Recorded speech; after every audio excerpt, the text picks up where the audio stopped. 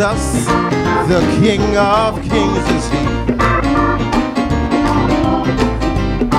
Throughout eternity, for the great I am,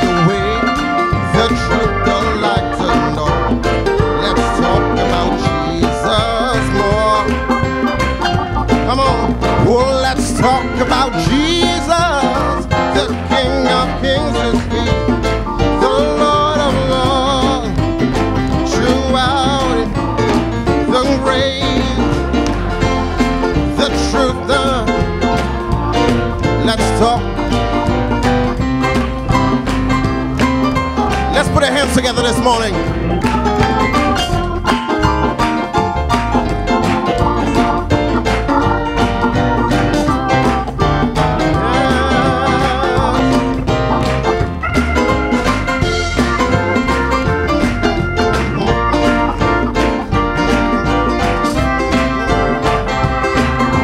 Everything we have. Oh, let's talk about Jesus, the King of Kings is He, of Lords. Throughout eternity, the great I am, the way, the truth, the light, the no. Let's talk about Jesus more and more.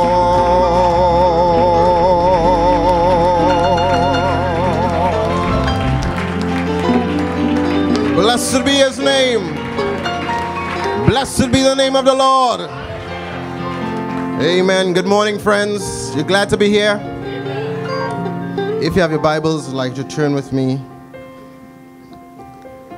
Reading from the book of Psalms, familiar scripture, chapter 150.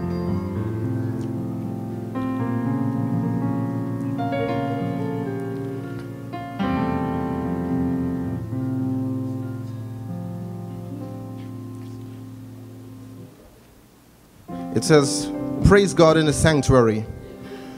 Praise Him in His mighty acts. Praise Him for His mighty acts. Praise Him according to His excellent greatness. Praise Him with the sound of the trumpet. Praise Him with the cymbal and harp. Praise Him with the timbrel and dance. Praise Him with stringed instruments and flutes. Praise Him with the loud cymbals. Praise Him with the high sounding cymbals. Let everything that hath breath praise the Lord. Praise ye the Lord. Let's just lift our hands and give him praise.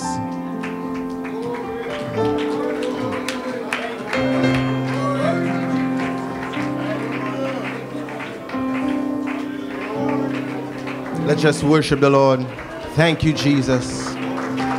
Father, we bless you, Lord. Father, we worship you, Lord. Lord, we thank you.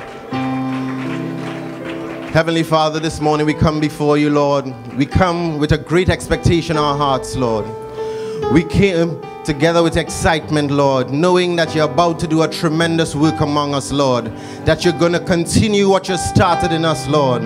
Lord, this morning we pray that your Holy Spirit will just engulf us, just surround us, just come in and through our lives, Lord. Go from bench to bench, from pew to pew, from person to person, Lord. Lord, we pray that you have your perfect will. Lord, I pray that you anoint the singers, the musicians, the officers, the helps, the governments, everyone under the sound of our voices, Lord. Lord, everyone connected to us on the internet right now, Lord. Lord, everyone that will see this tape and see this message, Lord, I pray that their lives would be changed and transformed forever. That this will be a turning point. That we can look back on this day and know you were here and you did great things among us. That you started a great work among us. That lives were changed and transformed. That people were set free. That people were delivered. That a revival is burning in our hearts, Lord. Lord, I pray that you come now in a special way. We pray that as we praise you and as we worship you, that you will fill this temple, Lord. Lord, that we be careful give you all the praise, all the honor, and all the glory. In Jesus' name we pray. Amen, amen. And the church say, Hallelujah. Let's give him a hand of praise.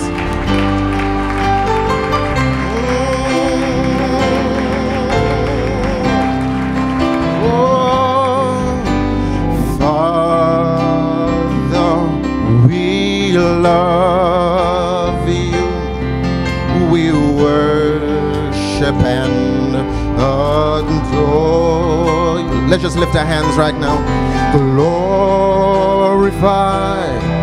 thy name in all the earth.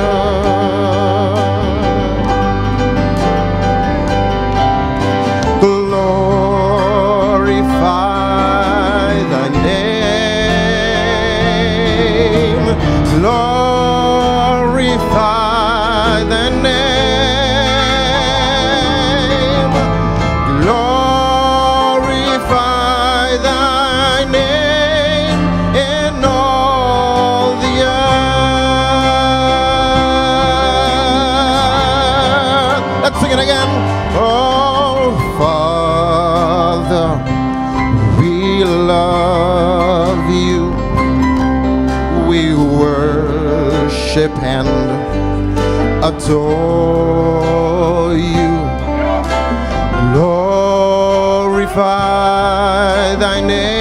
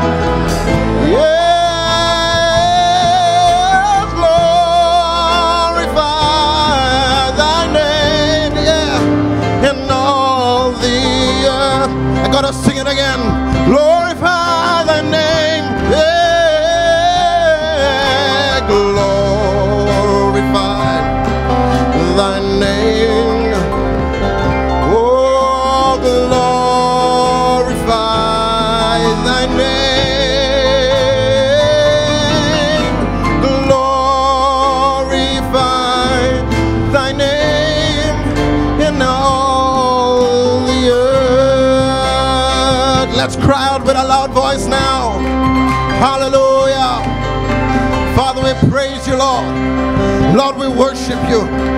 Lord, we just honor you. We exalt your name. You are so good. You're marvelous. You're wonderful. You're excellent. There is none like you. There is none like unto you, O God. You're great. You're mighty. We love you, Lord. We praise you, Lord. We exalt your name.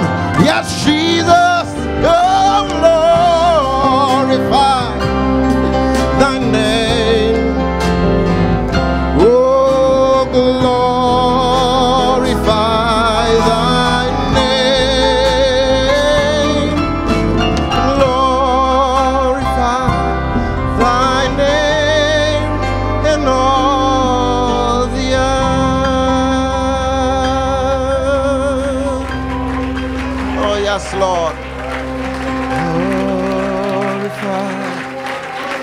thy name.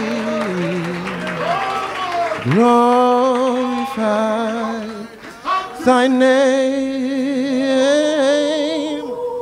Glorify thy name in all the earth. Give the Lord a hand of praise. Amen. Yes, Lord. Yes, Lord. Yes, Lord. We bless you, Jesus. Amen. You're glad to be here. Turn around greet your brother and sister. Smile with them. Let's sing that song God's not dead, He is alive.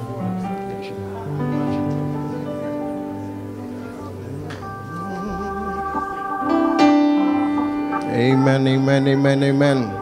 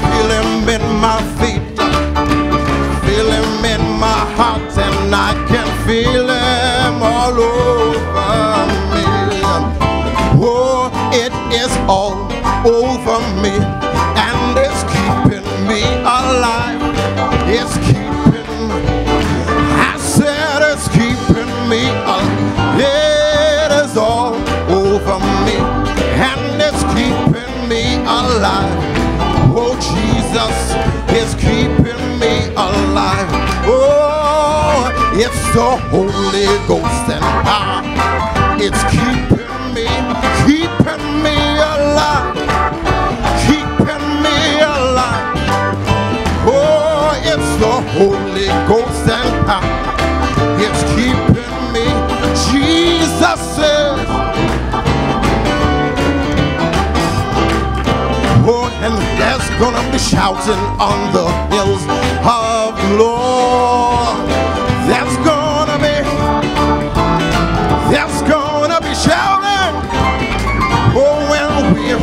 That land of which we heard the story, gonna be shouting on the hills. Just one more time, oh, there's gonna be shouting on the hills.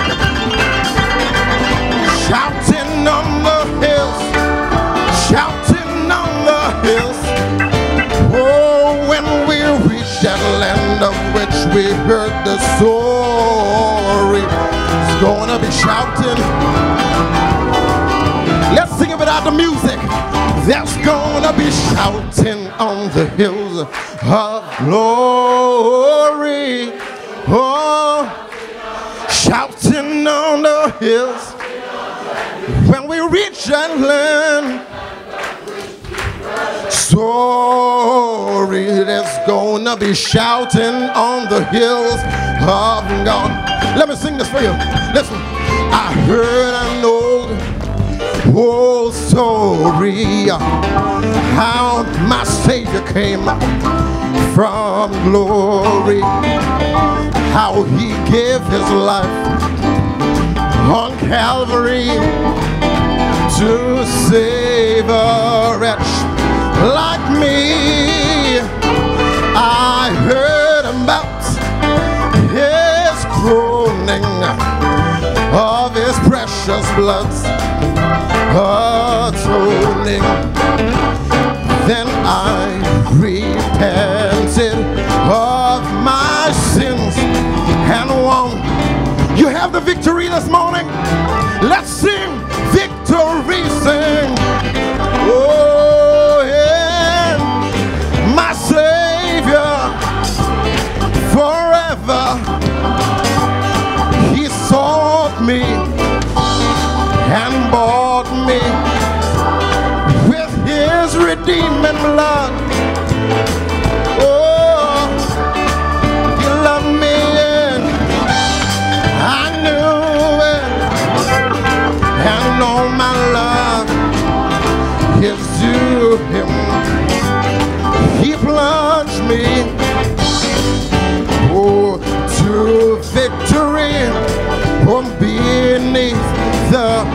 one more verse. I heard about his healing.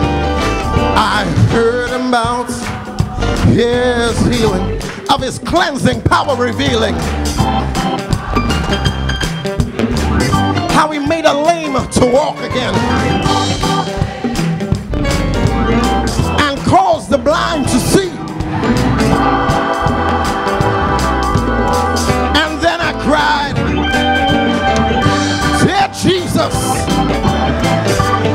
and heal my broken spirit. And somehow Jesus came and brought to me. Let's give him a shout.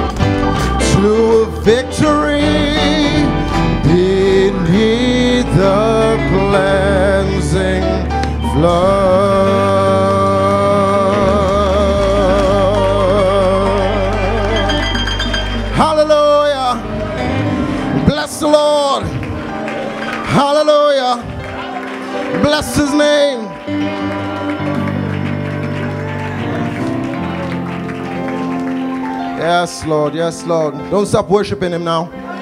We're here to create an atmosphere for the Holy Spirit to drop down, for the Holy Spirit to dwell among us. Bless his name. Hallelujah. Amen.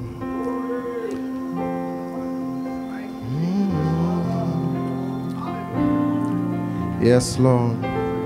You unravel me with a melody.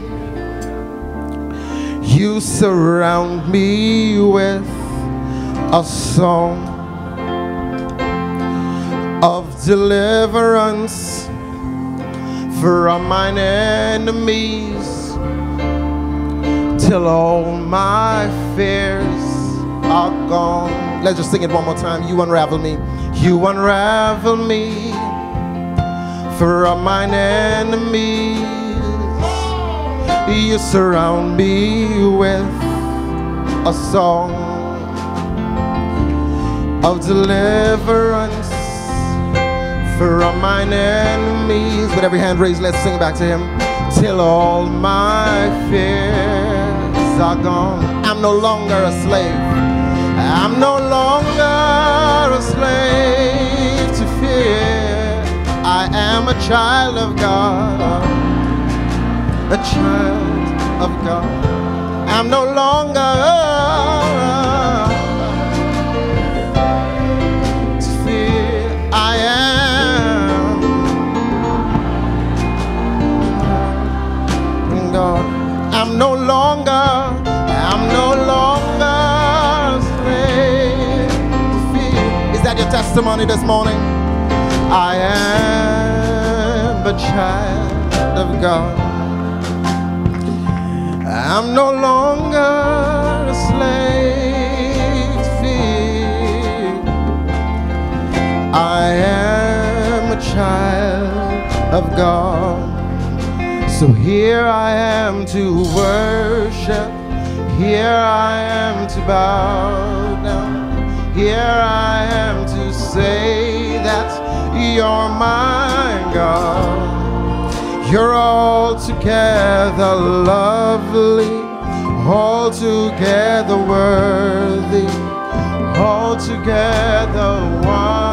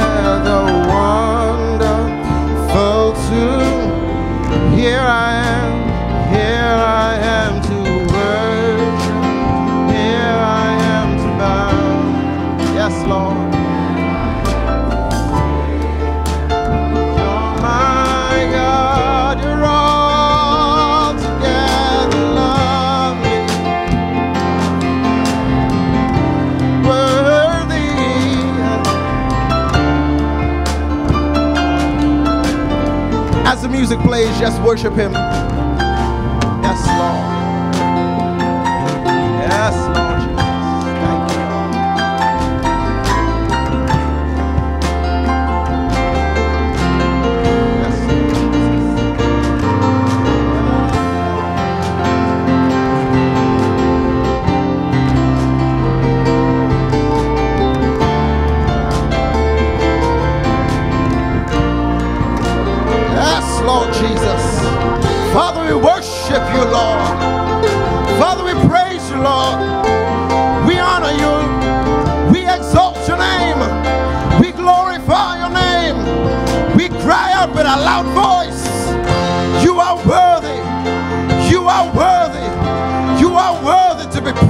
Yes, Lord.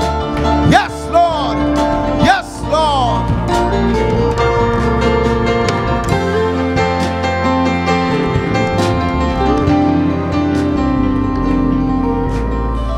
say that you're my God.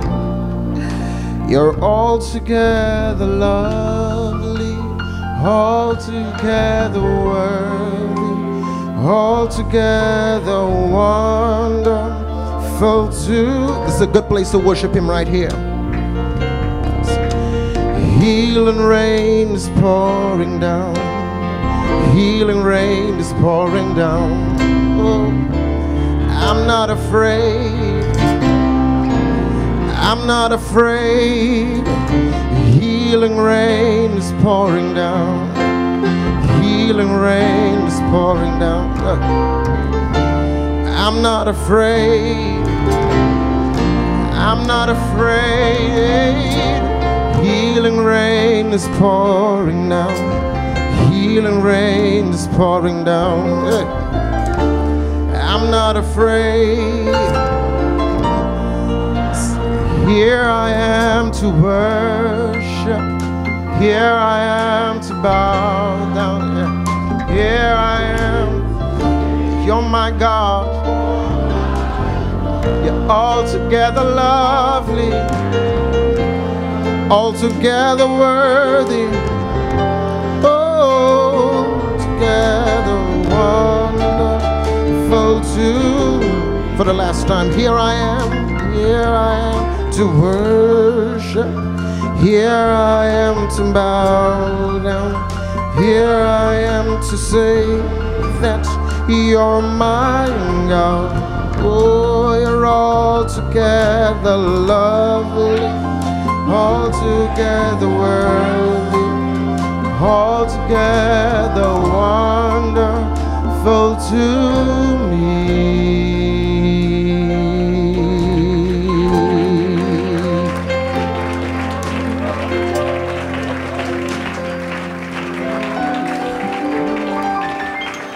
As a group from Lagos gets ready, I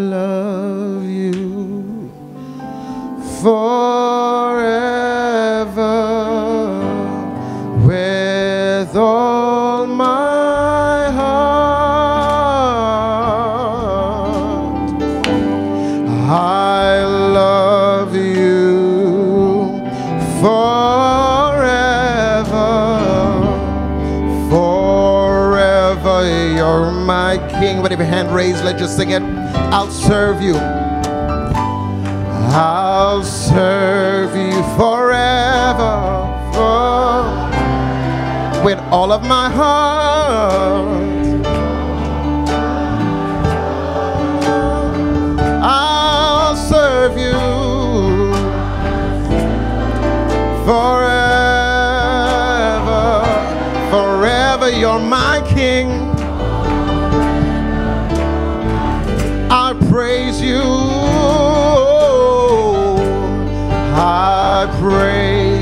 Praise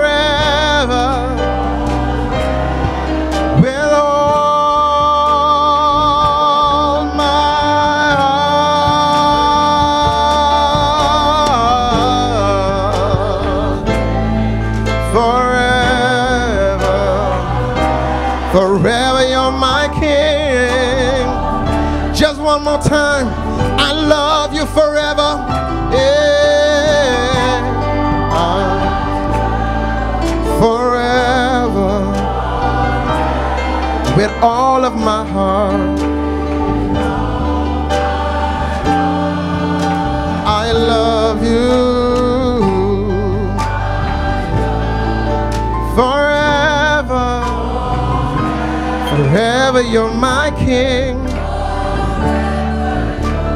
King. Let's just give him a hand of praise. Amen, amen, amen. Yes, Lord Jesus. Thank you, Father. Amen. May have your seats. Yes, we're going to sing a song somehow, some way. I know you'll be blessed.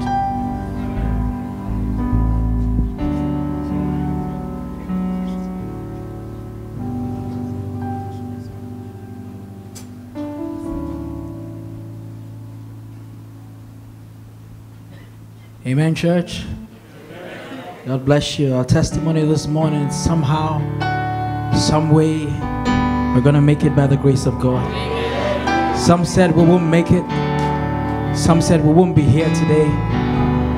But I say, united, hand in hand, we're going to make it by the grace of God. We'll make it to the other side. Amen. Brother Branham said it'll be a super race, it'll be a super church as she nears the headstone. Don't look at the side attraction. The prophet's words cannot fail. We'll make it to the other side. God richly bless you. Amen.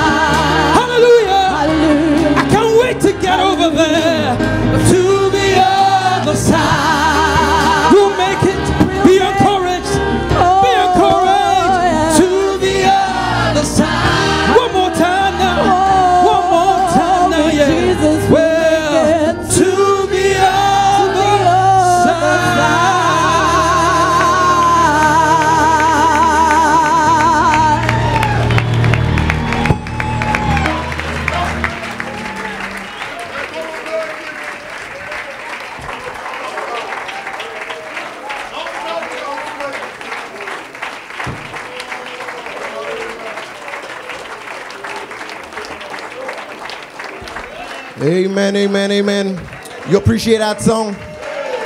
Let's give the Lord a hand of praise. You're going to make it. No matter what the devil says, no matter what the opposition might say, no matter what anybody might think, we're going to have the victory. Blessed be the wonderful name of the Lord. Let's sing that song. Will you be ready? Mm. Mm. Will you be ready? Will you be ready? Will you be ready to walk in Jerusalem just like John? Will you be ready? Will you be ready? Will you be ready to walk in Jerusalem just like John? I want to be ready. I want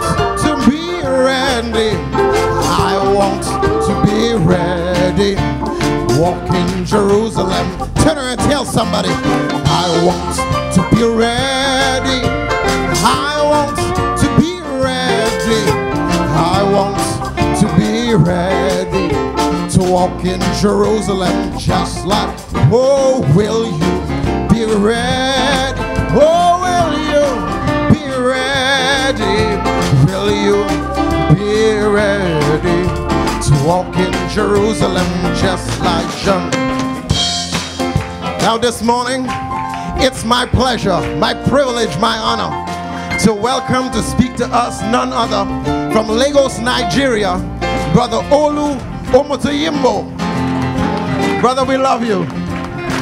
Oh, I want to be ready. I want to be ready to walk in Jerusalem.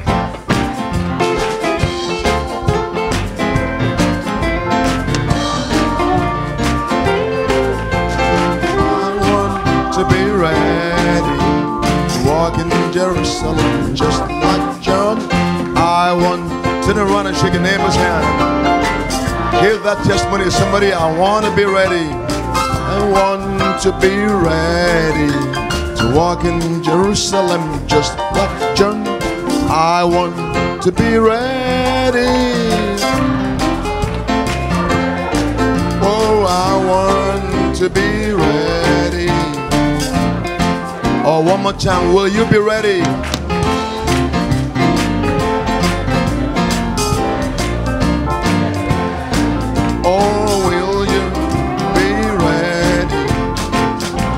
Oh, one final time.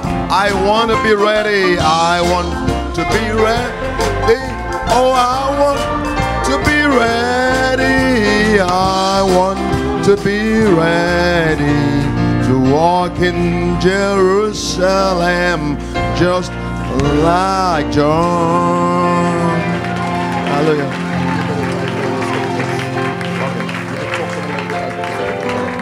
Let, let me. God bless you. God bless you. You may be seated for a few minutes. Amen.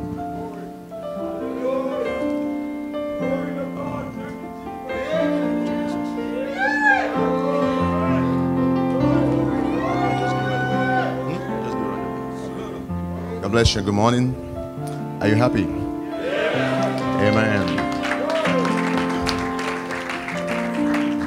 Well, before I bring my greetings, let's stand up to our feet. Let's let me read my scriptures. Um, if you have a Bible, I'd like to invite your attention to Genesis chapter 1 and uh, Revelation chapter 12 and Leviticus 23. Genesis chapter 1, I read verse 2 through verse 5. And that's where I get my title from this morning. Genesis chapter 1, um, I begin to read from verse 2. And the earth was without form and void, and darkness was upon the face of the deep, and the Spirit of God moved upon the face of the waters. And God said, Let there be light, and there was light. And God saw the light, that it was good. And God divided the light from the darkness. And God called the light day, and the darkness he called night. And the evening and the morning were the first day. And that's where my title is from. My title, and the evening and the morning were the first day. Amen. Let's go right back to Revelation. From Genesis right down to Revelation. Revelation chapter 12, and this speaking about the war in heaven. I read verse 7 through verse 11.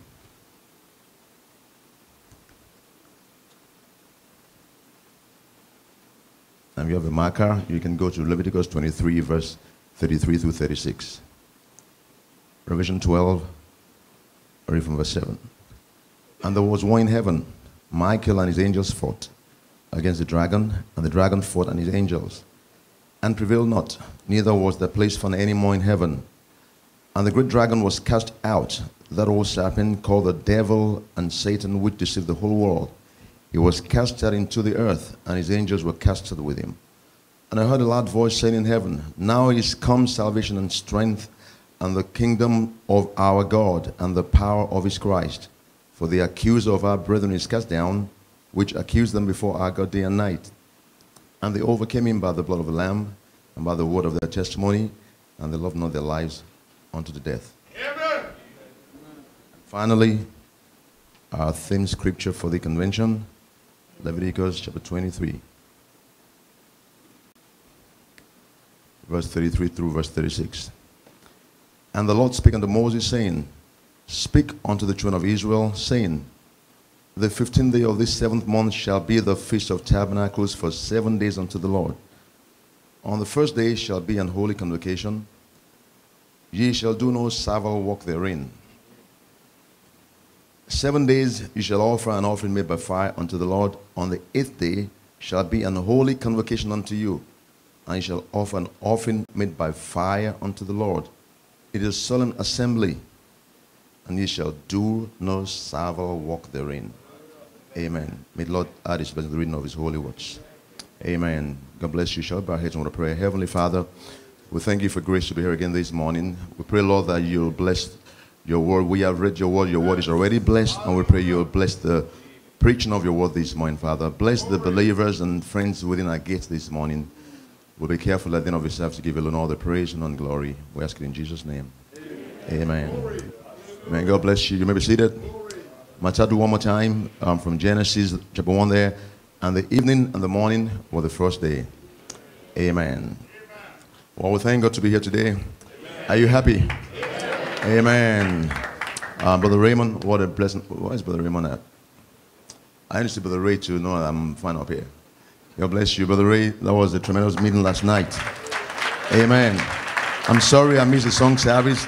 I really wanted to be here to, to dance in the room there because last night was truly outstanding, but that's what the kind of convention God has given us here.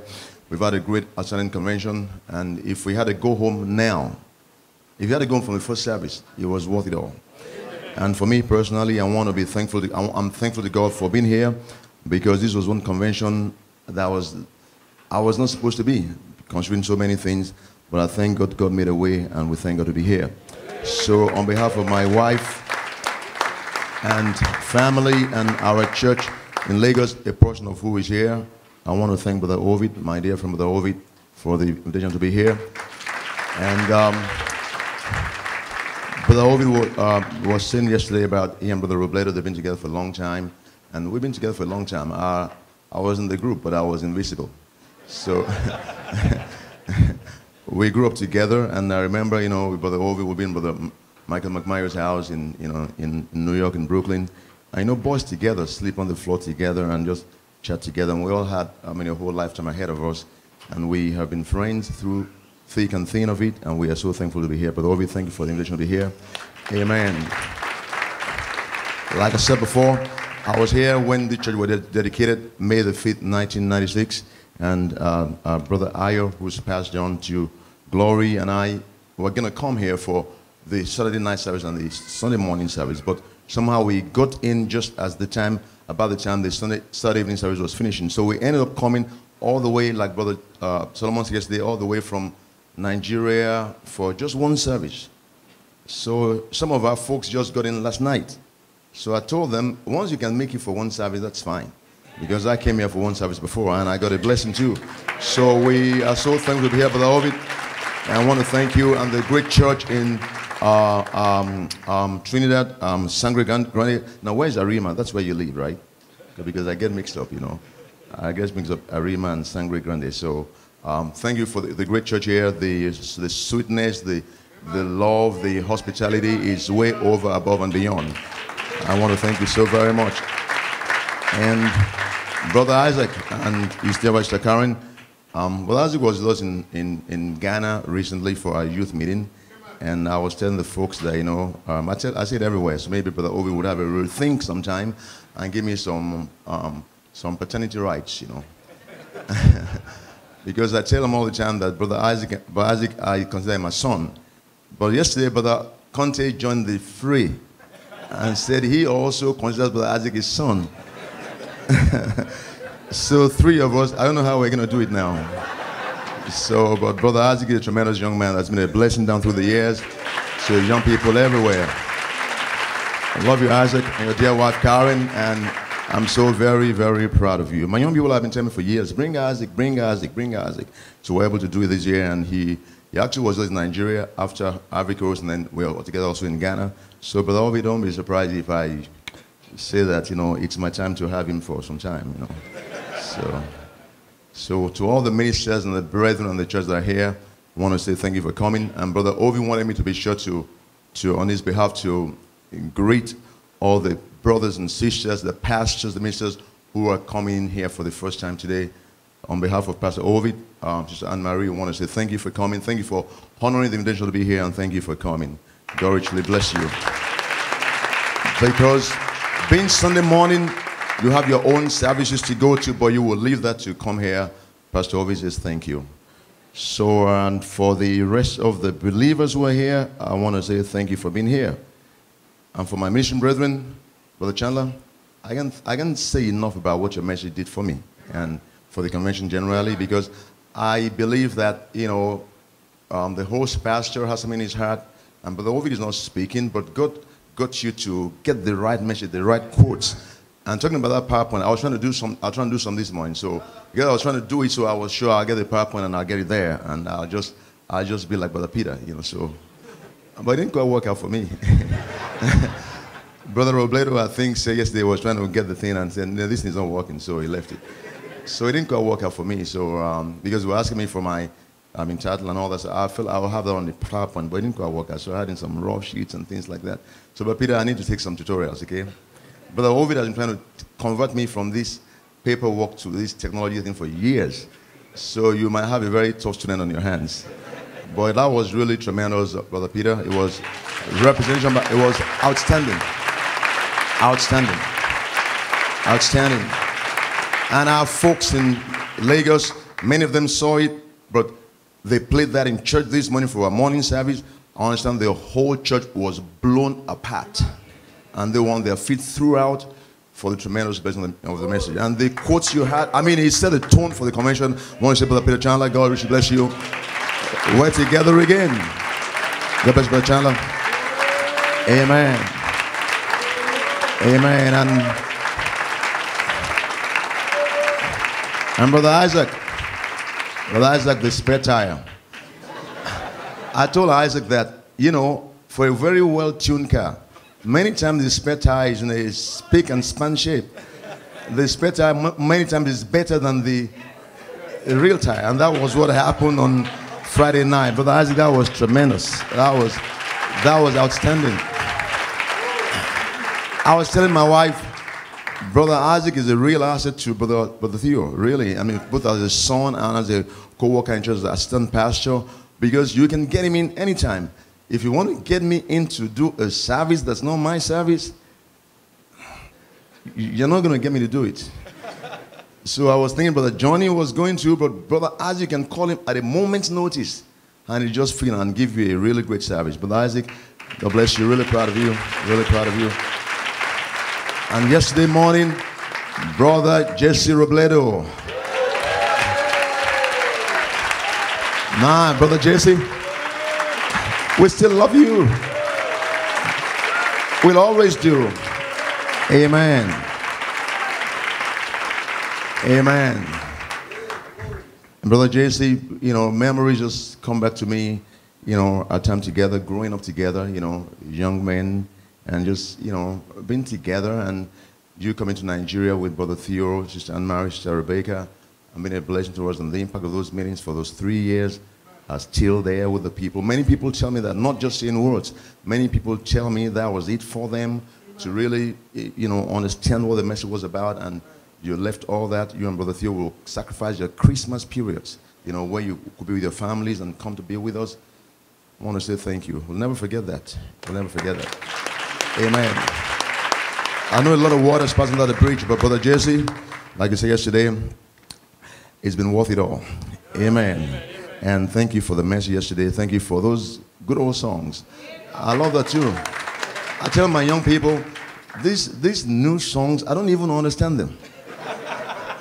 I don't, I don't even hear what they are saying. Give me those old songs. Give me those old songs. So I, I thank you, brother, brother, brother JC, for giving me some, some backbone behind my back so I can face them some more, you know. Because some of their songs, I don't even know what they're saying. Are they Christian songs? I'm not even sure. so, but that was really tremendous yesterday, brother, brother JC. Thank you so very much. And last night, brother Raymond Thompson. Brother Ray.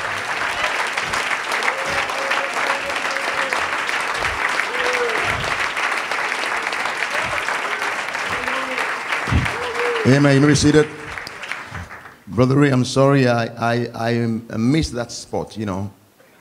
I remember the last time we were together, you know, in Ivory Coast, when Brother Ray got on the pulpit. I, I want Brother Ray, sleeves rolled up, ready for a battle. You want to fight Satan? Elohim is ready. God's servant is ready. So I like to see when he rolls up those sleeves. And I always miss it. When when Ivory Coast, when he was rolling up this is Isaac told me that's the time. So so I, I saw it that time. So I wish I stood by Isaac last night. And I felt I'm gonna know when Brother Ray is gonna hold up his sleeve. But I get so distracted. I was writing my my title and all that, and before I looked at the sleeves were already rolled up. but that was tremendous last night, Brother Ray. That was Absolutely outstanding. Absolutely outstanding. Um, um, um, I mean, it's so strange that we've come so quickly to the last day of the convention. And um, they've been telling me and Brother Johnny yesterday that Sunday is coming. Sunday is coming. So it's Sunday now. So I, I'm telling Brother Johnny, Sunday night is coming.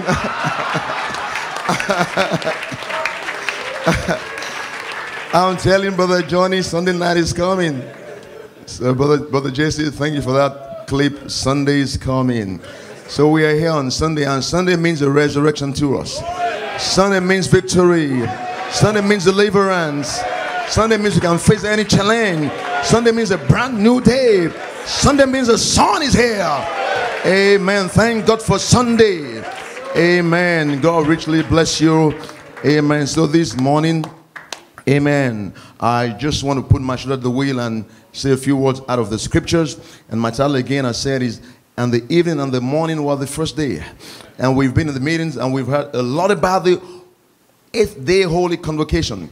And brother, uh, brother Ovid, you know, told us how that came to him pure inspiration. He didn't even think of it. It's not a subject he's studied so long, but God said, it's the holy convocation. And Brother Peter Chandler picked it up and set us on the right path. And everybody's been in the meeting. And I'm sure like you are thankful to God you are in this convocation.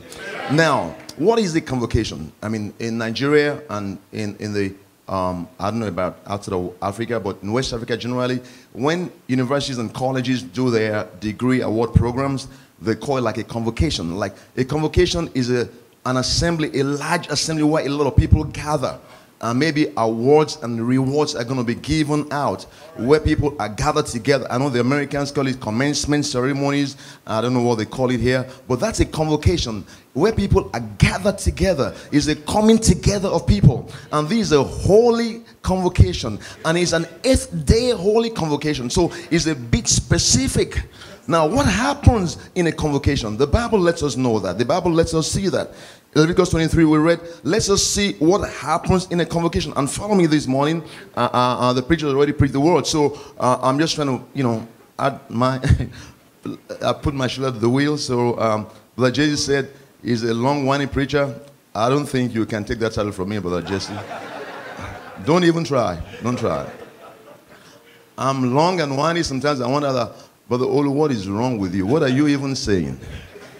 So uh, just pray for me that I don't, I don't be, end up being long and whiny today, but I'll try. I'll try. But you know, what happens in a convocation? Because when you know what happens in convocation, then we know what we're looking for here. We know what we're supposed to be, what we're supposed to be looking for here, and we can, with boldness, go for it. Amen. In the convocation from Leviticus, I just try to, you know, uh, uh, uh, uh, see as I go along what happens in the convocation. God told Moses, gather people together. 15th day of the seventh month. I think the first month is april so this will be like the 15th of october uh, uh, which was the, which is the seventh month. And gather people together for an assembly and seven days. They will have this assembly.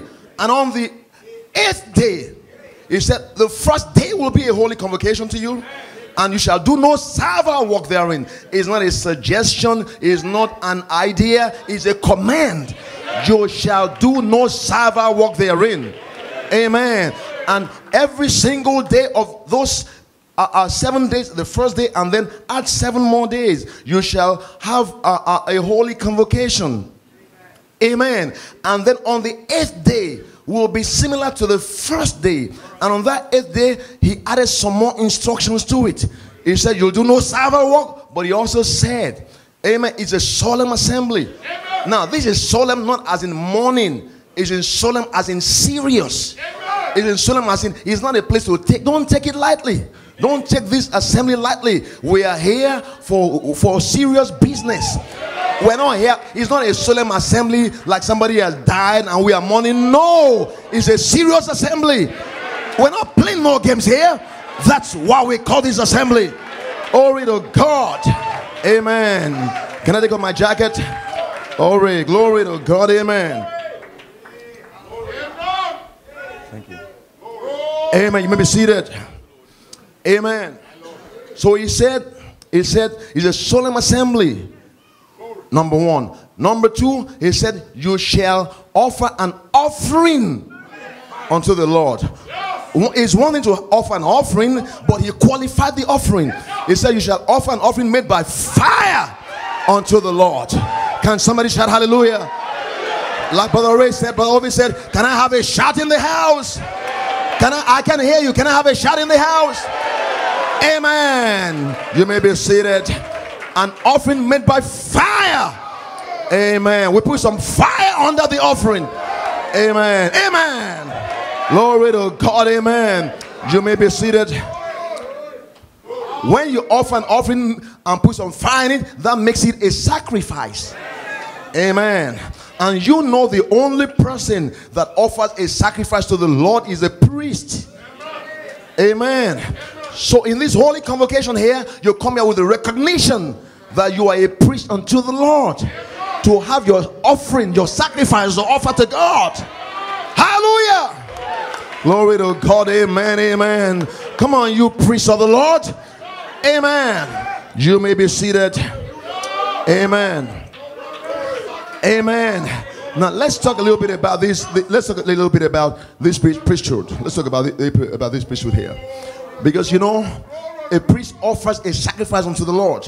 So when God says, each one of the household of Israel and each one of us here will offer an offering made by fire unto the Lord, is a recognition that we are priests unto the Lord.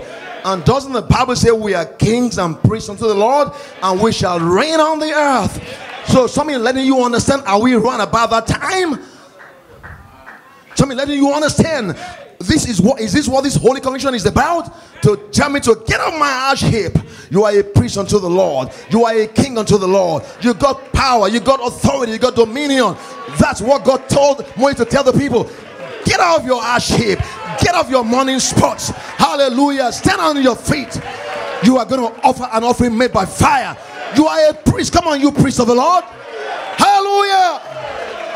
Glory, glory to God. Amen. Amen.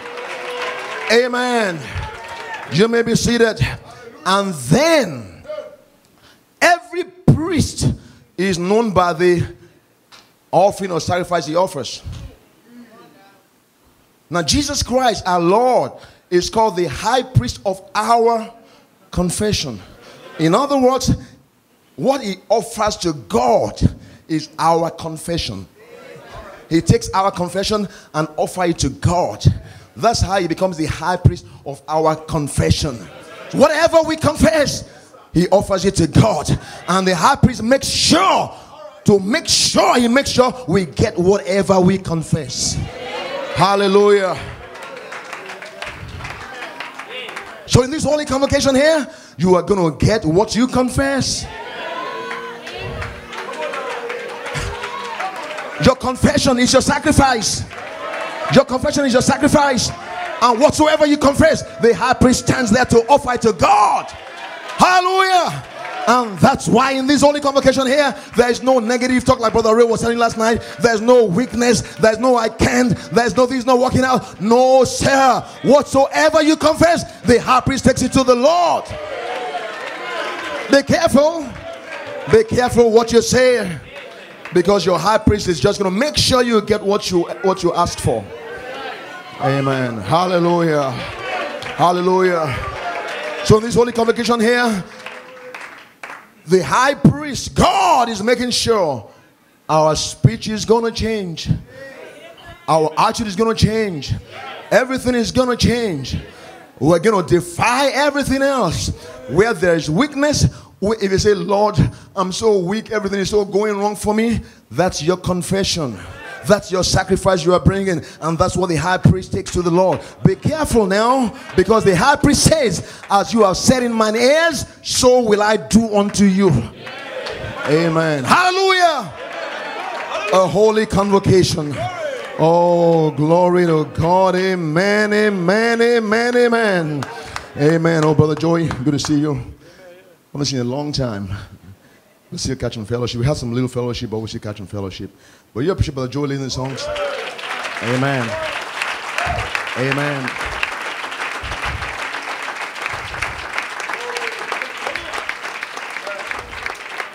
And I was telling him I was privileged to see, you know, when he led songs the first time. As a 15 year old, I think it was, you know.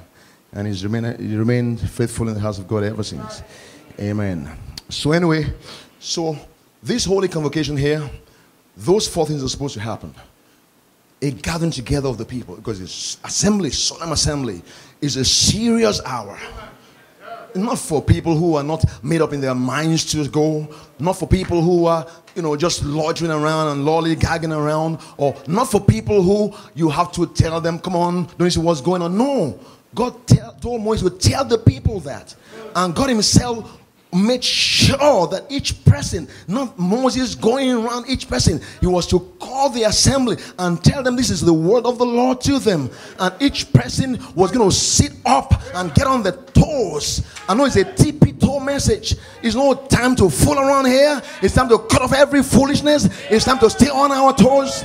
It's time to know that the Holy Spirit is here with us to bring to pass every divine promise that we. Amen. Hallelujah. Amen. So it's a solemn assembly. Amen. It's a serious hour.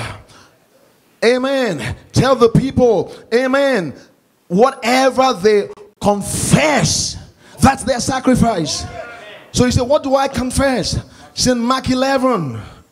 Jesus said, Whatsoever things you desire, when you pray, believe that you shall have them. That's number one. Believe in your heart. Then number two, you whatsoever you say, you shall have what you say.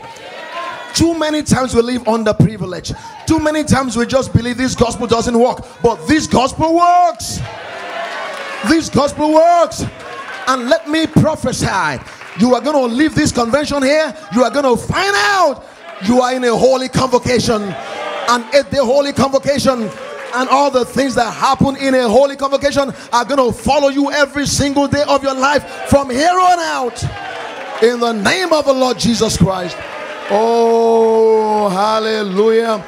You may be seated. Amen. And the number four in a holy convocation is that you do no servile work therein. The word servile, what it means is, is the kind of work, the kind of labor that slaves do. It's the kind of labor that people who are in prison do. So God drops down a holy convocation to break your chains of slavery, to break your chains of bondage. That's what it represents. I don't know what you are in bondage to this morning. I don't know what prison house you are in, but the Holy Spirit that called for the meetings has been showing you through the convention that He's here to break every chain. Break every chain, break every chain in the name of Jesus Christ. And we have the authority of the Holy Spirit to break every chain whatever demon, whatever spirit, whatever chain has you bound this morning that has not been broken yet in the minutes, it shall be broken today. Sunday is coming. Sunday is coming, and Sunday is here. Sunday is here to break every chain because you shall do no slave work in this day. Oh, you're not a slave, you are a son of God, you are a daughter of the king, you are not a slave.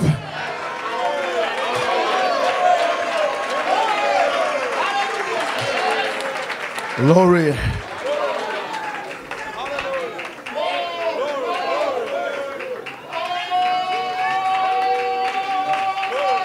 Glory to God, amen. You may be seated. Please do me a favor, turn to your neighbor, tell them, You shall do no servile work because you are not a slave.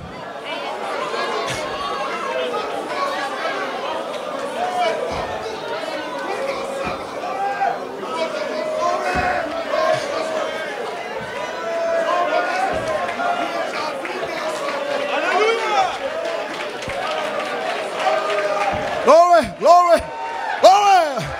We're no slaves.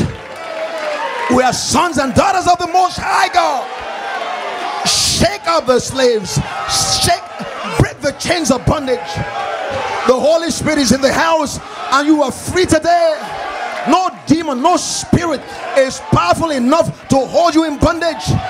This anointing that you feel in these meetings here is too much for any spirit, any devil.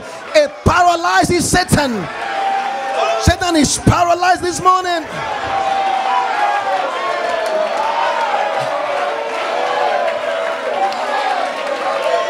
You may be seated.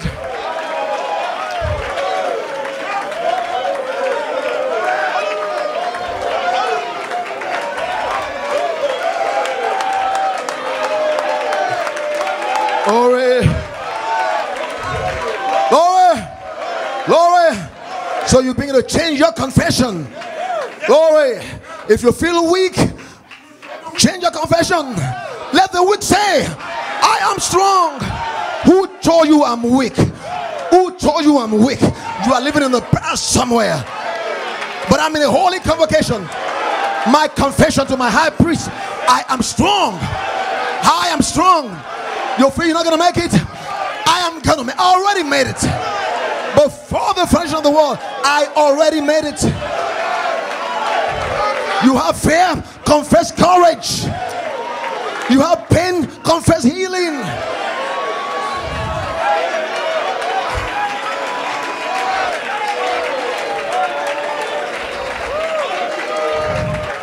Amen.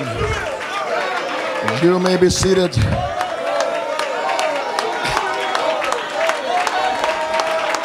Glory. Glory, glory to God. Amen. Amen. So if you are sick this morning, before the prayer line tonight, begin to confess your healing. That's how it comes. The high priest hears it and will make your body obey your confession. If you are weak, confess strength. If you are afraid, confess courage. Hallelujah. Glory to God. Amen. Amen. Oh, glory. And you shall have what you say. You may be seated. Oh, glory to God. Amen. Amen.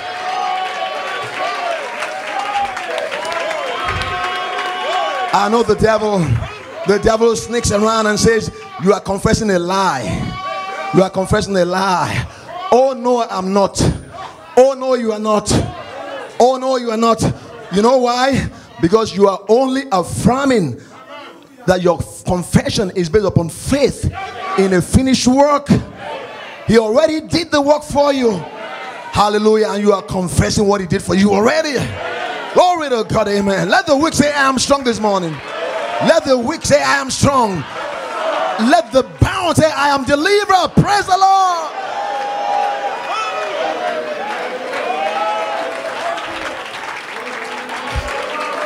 And we shall do no savor work therein.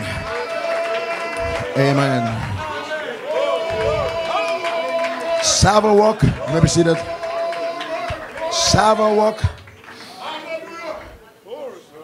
suggest slavery, suggest prison. Now, I know so many people, young people in particular, are held bound by sin. But you know, too many of us also are in prison of our own making, of our own choosing. Whatever the source of your bondage or prison, the Holy Spirit, this meetings here says, You shall do no savor work therein. Some of us are so full of pity for ourselves. You know, we're in prison of jealousy, prison of self pity, all kinds of prisons prison of ignorance we are held in prison some held in by their church by their group by their revelation by their inspiration they're held in prison by that and they must live up to certain expectations they must live up to some certain things that the group places upon them some are in prison to facebook and social media all kinds of prisons we put on ourselves. But the Holy Spirit says, You shall from henceforth do no savor work therein, because deliverance has come to you. Amen. Over this weekend here. And it's up to you to take it and walk out free. Glory to God. Amen. You may be seated. Amen. Amen. Let me read you a quote here for Brother Branham. It's been read already, but let me just go over it again. Uh, you may be seated on Future Home. Um, let's get a little bit into this, um, this holy convocation here. Because it said there's another holy time coming. It means there was one before. So we want to try and trace, you know, what this holy convocation is all about and what it means for you and I. On the future of the Bam said here, and God made the earth and labor six days. And rested the seventh was only a type of time. Time. But I've just said here, we become eternal. Amen. So this time and this eternal. So let's find out where this holy convocation is at. Whether it's in time or it's eternal. All right. So where's your type now? You say you're a typologist. You've run out of types now. No, I haven't. Let's just find out if you have. Let's go to Leviticus, back in the 23rd chapter of Leviticus. Now I want you to notice in Leviticus where we were, was that last Sunday. This is what gave me the idea right there the 23rd chapter of Leviticus and the 26th verse. And it's been read over and over in the convention, and I'll just read again this morning. Now remember, there's seven feast days the Feast of Trumpets, Feast of Tabernacles, Feast of the Sheaf Waving, all, all this here. There's seven great feast days. That, was only a type of the seven church ages. And you remember how many Sabbaths there was between one and the other? Seven Sabbaths between Pentecost and the trumpets, which were seven church ages. And there were seven feast days that represent the seven church ages. Keep your numbers running. Say, well, now, Brother Branham, you don't run out. You got your seven. All right. Let's take the last feast, which is the Feast of Tabernacles. Now, notice here in the 36th verse Seven days shall you offer offerings made by fire unto the Lord. On the eighth day shall be a holy convocation. And he burst into prophecy. Because William Branham left us a testimony in prophecy. You got to watch what that prophet is saying. At some of these guys running their mouth on the internet and different things here. You don't understand Brother Branham's message. This was a prophet and more than a prophet, like Brother Jesus said yesterday. Amen. And he broke into prophecy. There's another holy time coming. And that lets us know right away there was a holy time before. And if we find out what happened in that holy time, how they got there, we'll know what we're supposed to expect and what we're supposed to go for in this holy time here. Because it runs in shapes and types, it runs in shadows and types. Amen. Glory. Can somebody say amen? Amen. All right. Let's take the Feast of the Tabernacles. Seven days you're offering to the Lord. And the eighth day, holy convocation. There's another holy time coming. And you shall offer an offering made by fire unto the Lord. It's a solemn assembly, and shall do no savor walk therein. Now we got an eighth day. There's only seven days. But here we speak of the eighth day. Holy convocation. Notice, do not work in it. The eighth day are what? Back to the first day. Why?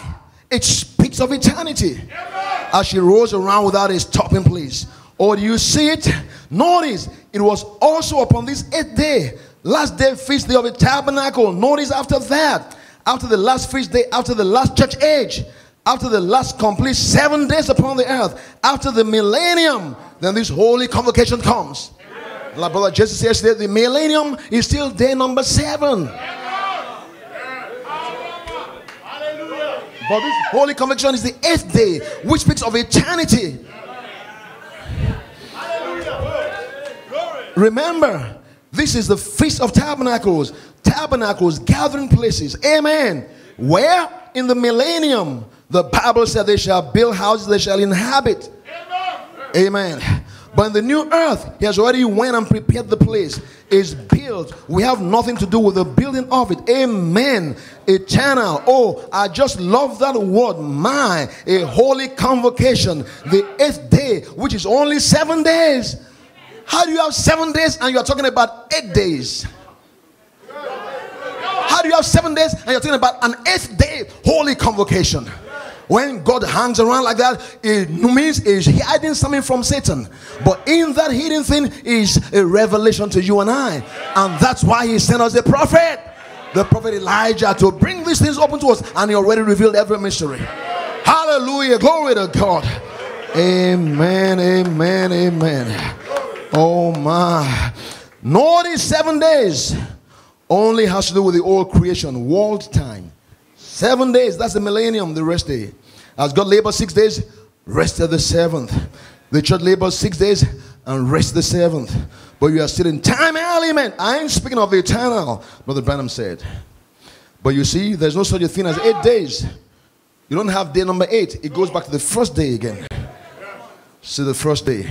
The Sabbath speaks of the old law, which was to pass away. The keeping of a Sabbath, which passed away. Amen. Isaiah the 19th chapter said, I believe 28 19, precept must be upon precept, here a little and there a little. Hold fast to that what's good, for which stammering lips and all the tongues will I speak to these people. And here is the rest. You enter into life, not keeping a day or shadow. Paul said over here in Hebrews chapter 4, you keep days and shadows and things like that. I'm scared of your experience. See, we don't pass into certain days and orders. You've passed from death unto eternal life, not days and times. You've passed into eternity. That's the holy convocation. You're passing into eternity. That's the holy convocation. Because that's number eight. So this holy convocation here has nothing to do with time.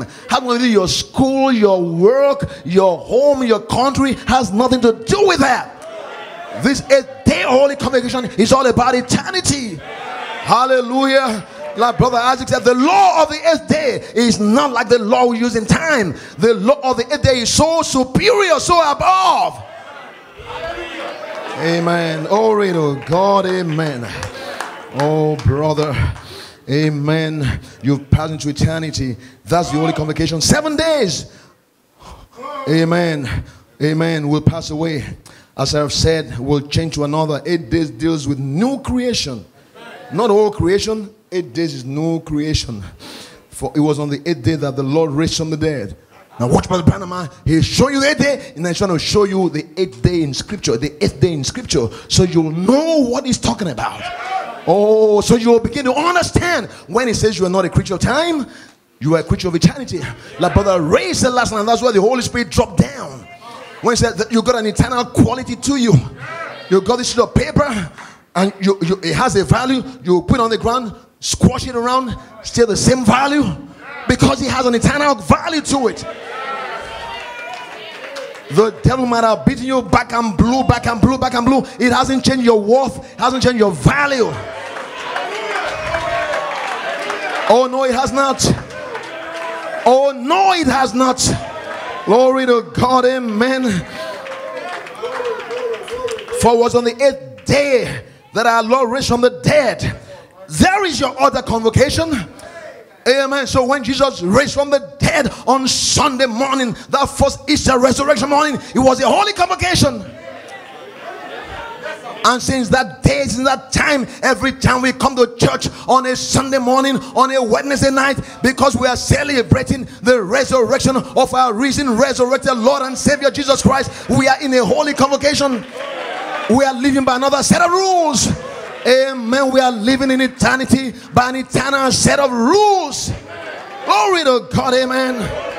Hallelujah. Amen. There is your other convocation, not considering the Sabbaths at all, or the feast of the Sabbaths, feast of these, and the feast of the Pentecost. Jesus raised from the dead for our justification on the eighth day. After the seven Sabbaths or seven days, seven church ages, Jesus raised from the dead. Eighth day, which is the holy convocation, see, which is the first day. Oh, glory to God, amen. You don't pass through time and drop into eternity again. Not keeping of days and keeping of Sabbaths and new moons and things like that, but a pass, change your form, not annihilated glory, but pass from death unto eternal life. Oh, what the Bible does teach us pass from death to life. Paragraph 229. I'm back over yonder the beginning, where the tadpole was made in Eden. When man came to the earth and he fell, a little lamb shed its blood. That spoke of the great lamb was coming to shed his blood. Calvary raised the cross that tied to the Old Testament to them who justified were looking for it. Amen. And in this new dispensation, now the coming of the Lord as the new earth, the rope of salvation, the blood, the redeemed path I'm talking about, and through the same system has redeemed both man and the earth will raise right up into eternity again, and the lake of fire will consume everything that's ungodly and unprecedented to it. Do you see it? Notice the eighth day. Jesus raised for sanctification, the eternal king, with the eternal kingdom to be baptized into to eternal life. Not seven days, had nothing to do with any of the days. He's speaking of another eternal coming, speaking of an eternal time. The world that I'm speaking of. And notice after 50 days or seven Sabbaths from there, again there come another holy convocation what happened? The Holy Ghost fell on the day of Pentecost. A holy convocation. On the seventh day or eighth day, rather, fell on the eighth day. Was seven Sabbaths later, and his resurrection, after his resurrection. And so it's been seven times that again. Bring it right back around to the first day of the week again. There is your holy convocation not have anything to do with the literal things. It's beyond the literal, it's beyond the natural, it's beyond time It's into the kingdom of God with eternal life, with the predestinated that never did begin. It never started on any day. You wasn't saved on any day. You was always saved.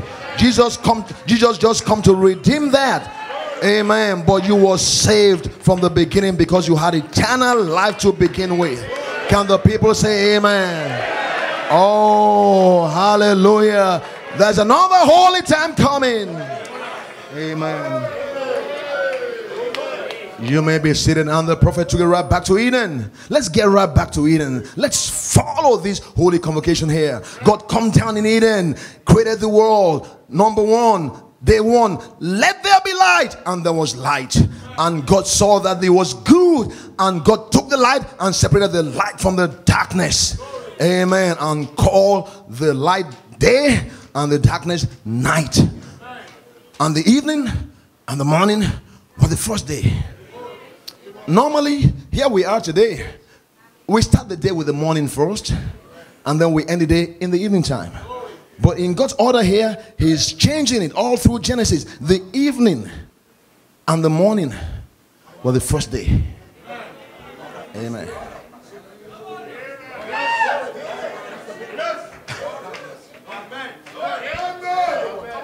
That's going to show you the power that, that's laid in a holy convocation. When we come to church, every single time you are in a holy convocation. Amen. Glory to God. Amen. Hallelujah. Amen. So in Genesis 1, God began the creation. And number two, day two, He created some more. And then He said the evening and the morning were the second day. And all the way down to the sixth day, the evening and the morning were the fourth day, the fourth day, the fifth day, the sixth day. And on day number seven, the Bible said God rested on the number seven, and we don't hear any more about that. We don't hear what happened to Adam. What you got Adam was created on the sixth day. What happened to him? Did he stay in the sixth day? Did he go into the seventh day, or what happened? Here's what happened here. Glory to God, amen.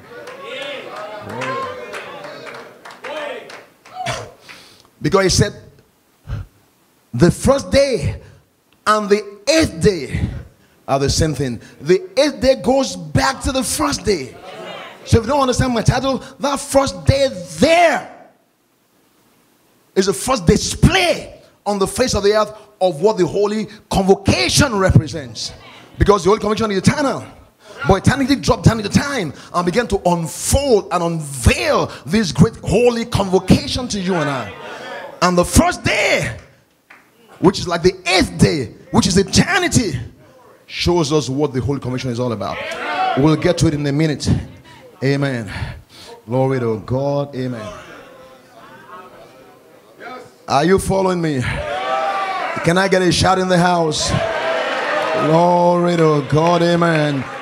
Tell your neighbor, and the evening and the morning were the first day. Now tell your neighbor now, don't, don't just sit. Look to your neighbor and tell them that.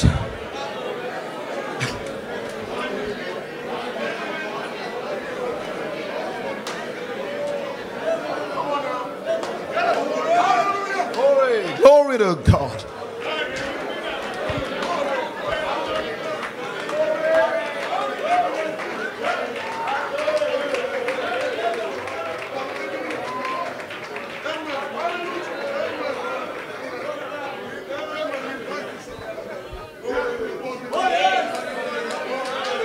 Glory.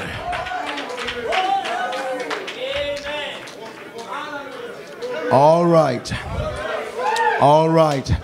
And that is the holy convocation. But we'll put it together for you in a minute. Amen. So, God, because the holy convocation is eternal, not on the earth here. He come down and one, two, three, four, five, six, seven. He unfolded, unveiled, and unfolded progressively what this holy convocation was about. And we find out it's a power in the holy convocation. It's a creative power, is a creative force to come on the face of the earth. Remember, the earth was that form and void, and darkness was upon the face of the deep. And in the midst of all that, in that condition is where God come right down to declare a holy convocation on the face of this earth here. This earth started out with a holy convocation, and we are going out just the same way, and no devil is going to be able to stop it. Hallelujah! And you are going to be in that holy convocation. Oh, that's right. Oh, yeah. Oh, yeah. You may be seated. Glory to God. Amen. Adam was created on day number six. Notice in Genesis 1, like Scofield says, three creations mentioned here. Because antediluvian war, we know about all of that. But when God come down, let there be light. He created the heavens and the earth. Number two, he created animal, I mean, he created, you know, plant life and sea life. And number three, he created human life. It was a creative force. It was a power that come on the face of the earth to declare this holy convocation.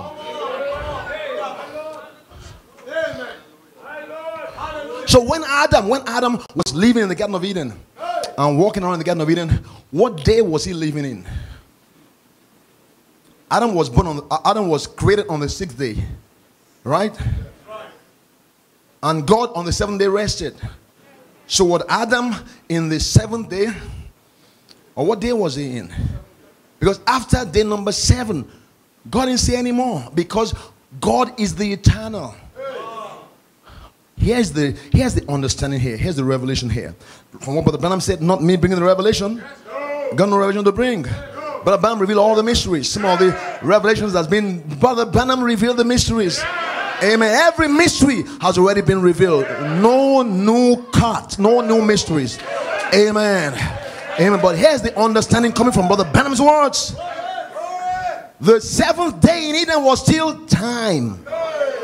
So when God rested on the seventh day, it was still in time. And God doesn't live in time.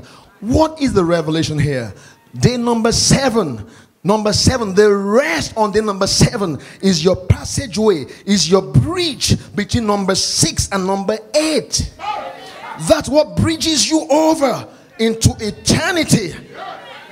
God was showing Adam You've got to enter into my rest. And when you enter into my rest, you break into that eighth day holy convocation. When you break into that eighth day holy convocation, you are on this earth here, but you are eternal. Like Brother Rachel last night, you got an eternal quality to you. And that's why for every young man, every young woman, you can rest until the passion of the Holy Ghost and fire burns into your soul. Hallelujah. God wants to give you the Holy Ghost more than you desire to have the Holy Ghost. You may be seated.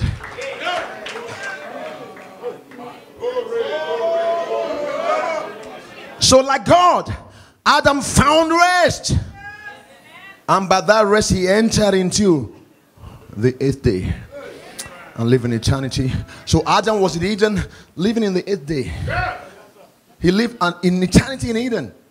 Heaven dropped down. The eternal dropped down in Eden. Adam wasn't living the seventh day in Eden. He was living in eternity. He was in a holy convocation with God and all nature. He was right there. Amen. Heaven, the eternal was reigning in the affairs of men on the face of the earth. And there is your holy convocation. Oh, glory to God. Amen. Hallelujah. Amen. Amen. Amen. Come with me now. A hundred million years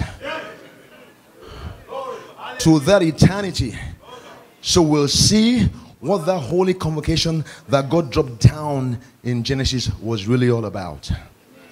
Come with me a hundred million years. Brother Branham said. Are you ready? You got your speech suit on? Got your spiritual thinking jackets on? We know these things, nothing new. We've been well taught these things. Amen. Just putting a message together for you. Amen. So, day number one to number six was creation. Day number seven was the rest, the bridge. Amen. To bridge between the time and eternity. And Adam passed that bridge, and entered go to rest, and live in eternity and that holy convocation in the Garden of Eden. Oh, glory to God. Amen. Amen. Let's go the way back to eternity now to find out what this holy convocation, what it really entailed, because that was where it was in heaven when all of God's children gathered together and shouted for joy. That solemn, serious assembly. It was serious because the disruptor was there. The devil was there trying to cause some disruption, some dis- distraction. Amen. Glory to God. Amen. All right. Glory to God. Romans 8, open your Bibles.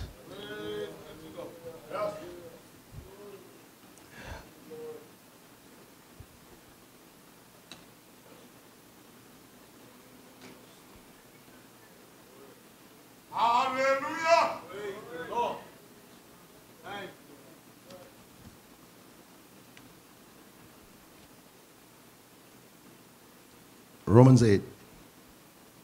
Let me read from verse 28. And we know that all things work together for good to them that love God, to them who are the called according to his purpose. We're trying to trace this holy convocation to the original holy convocation. Try to show you what the holy convocation did and established in the Garden of Eden. The eighth day holy convocation that Adam lived in in Eden. Amen. And I'm a tear son of God, displaying the power and authority of heaven on the face of the earth. And God come down and created and unveiled this holy convocation. But let's go back and see what it's all about. Where it all started from, so you will know how to apply this into your own life. Amen. Thank you, brother. Romans 8, verse 28. And we know that all things work together for good to them that love God, who are the called according to his purpose. Let me keep a top of my time here. I'm doing very well. All right. For whom he did foreknow, he also did predestinate. Watch those words now. Whom he did foreknow, them he also did predestinate to be conformed to the image of his son, that he might be the firstborn among many brethren.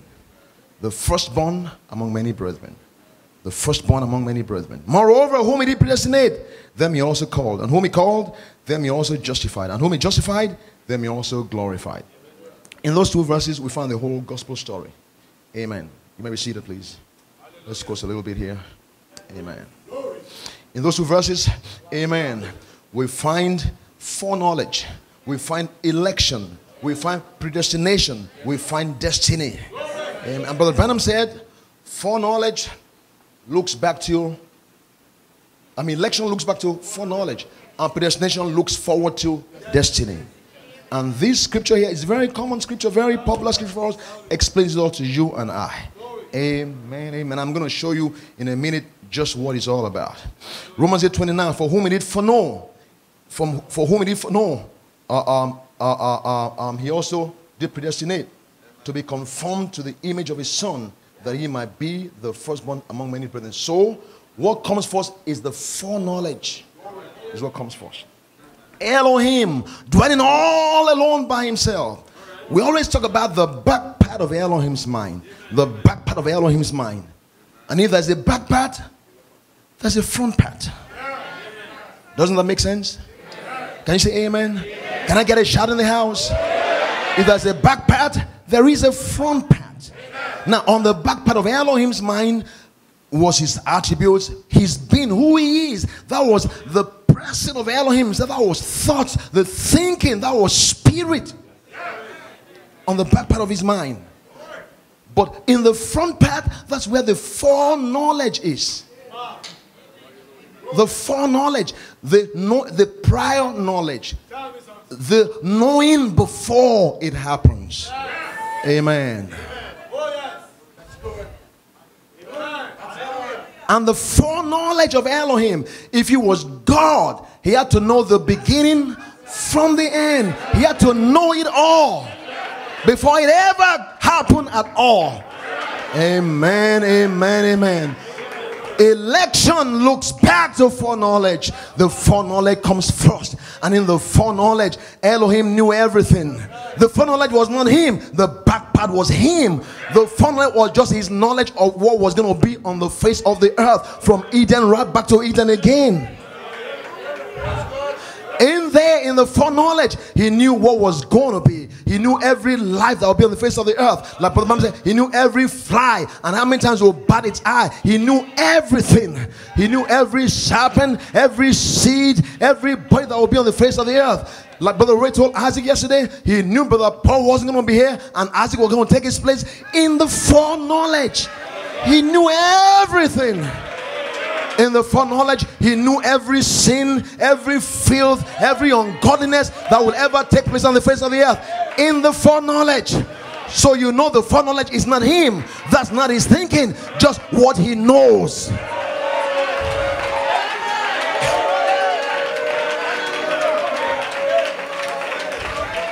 No, you didn't hear me. You may be seated. You didn't hear me. Glory, you did not hear me. You may be seated. The foreknowledge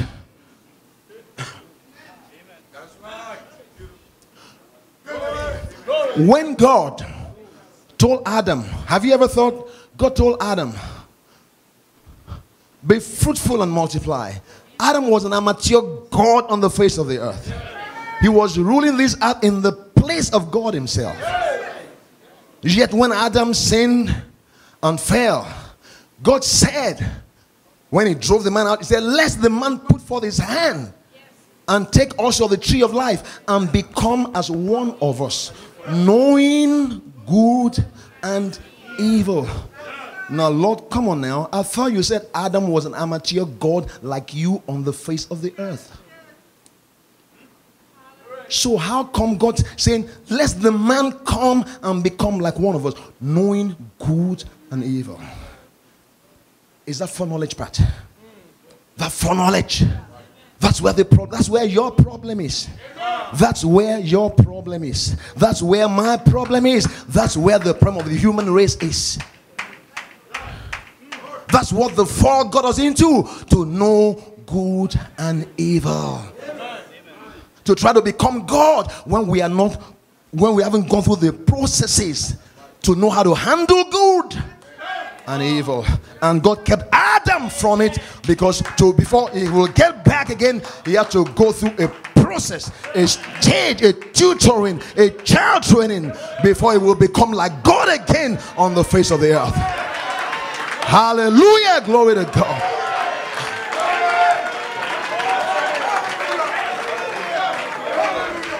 But the foreknowledge, that's where the problem is at. You may be seated. And that's where the devil deceives many, many young people in particular, but also older folks like me, like our dads and moms. The foreknowledge, that's not you. The foreknowledge was in God. The back path was God. That's where you were hidden. That's where your thought, your gene, your representation by Peter's predestination in Elohim was in the back part of his mind.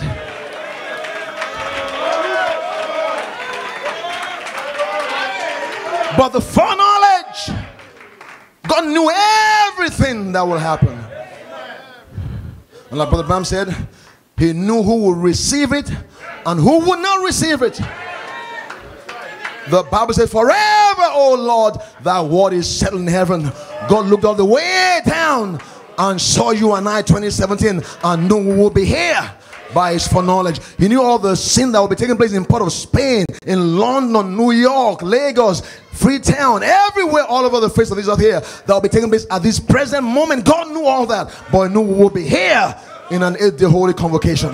God knew who will receive it. His foreknowledge knew that.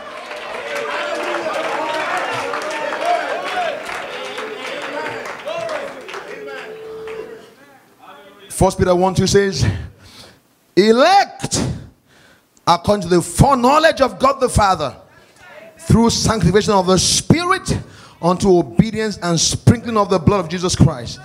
Grace unto you and peace be multiplied. Wow. Glory to God. Amen. So God saw you and I struggling, but He saw we will receive it. Amen. And what did He do? What did He do? God reached way down into 2015, 2016, 2017, or whenever it was, and pulled you from that foreknowledge path and put you right into the election. He reached out and pulled you right to the back part of his mind. The foreknowledge is the record of all life that will be on the face of the earth here.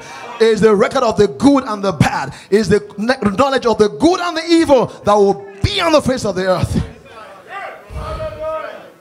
But the back part is the tree of life. The back part is only the good. God's pure thoughts from before the foundation of the world. But the foreknowledge is the good and the evil and the ugly and the bad. And God saw you receive it. He reached way down and pulled you from there and put you on the back part of his mind. And put your name, put your name in that eternal section on the back part of his mind.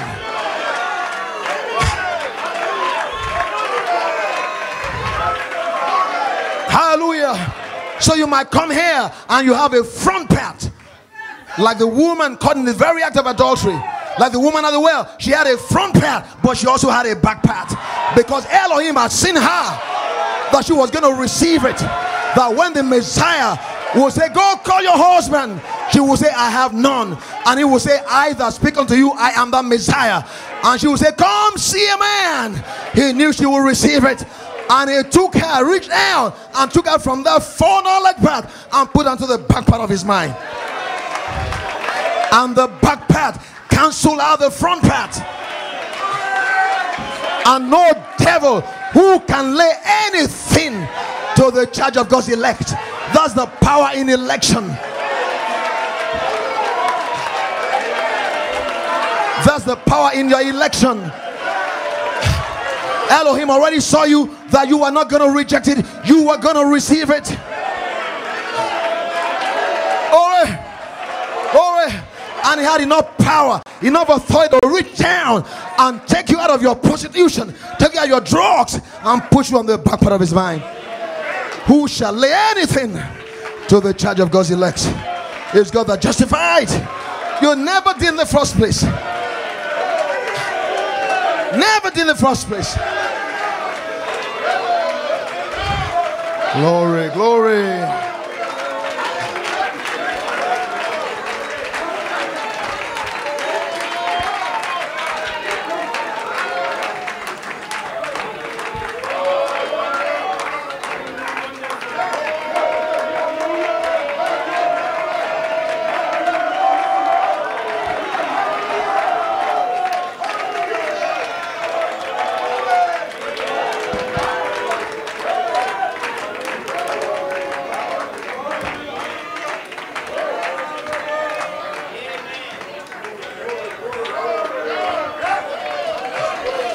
Amen. You may be seated.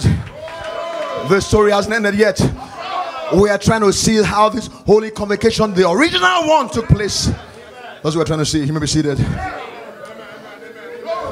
For whom he did foreknow and elected them. He foreknew you, you were going to receive it. He took you no matter what had you bound. No matter what spirit had you bound. The power of election reach down and pull you out of it. And cancel out canceled out that life. All the record in the book of life. The record of your record of good and evil he canceled it out and put in the blood section where you never did in the first place. Where no devil can accuse you he sees you through the blood. Who shall lay anything to the charge of God's elect? That's the election. He took you and put you on the back of his mind. Let the devil try to follow you there. He can't even do it. He cannot do it. That's the power in your election. What shall we then say? Hallelujah. For I am persuaded neither death nor life, nor things present can take us away from the love of God that already chose us and elected us in Him before the foundation of the world. That's why we are here. That's why we have no fear. You already made it. You have no fear. You are not going to be lost. Your little babies, your little boys and girls might be wondering right now the bloodhound is after them. The bloodhound is after them. But to you last night the Holy Spirit follows the blood from the book of redemption the book of redemption on the back part of his mind. Hallelujah!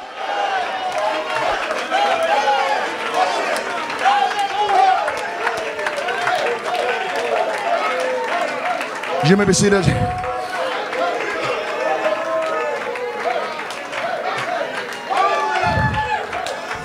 Let me show you understand this. The foreknowledge, God's knowledge for knowing before prior knowledge. It was a record, a record of life. God values life. So every life on the face of the earth had the record in there of the good and the bad. That's why Adam, when he got in that, the devil got in that sphere, he can handle the good and the bad. He cannot handle it. Even with the power of election, we struggle with handling the good and the bad. See, that brother, He's bad. That sister, oh, forget it. I can't even stand her. Oh, that church. Oh, come on. I want to have you go to church there. That's the knowledge of the good and the evil. And the Bible says, For God, be therefore perfect. It's in Matthew 5, as your Father in heaven is perfect. For he makes his sun to shine on the just and the unjust, on the good and the evil.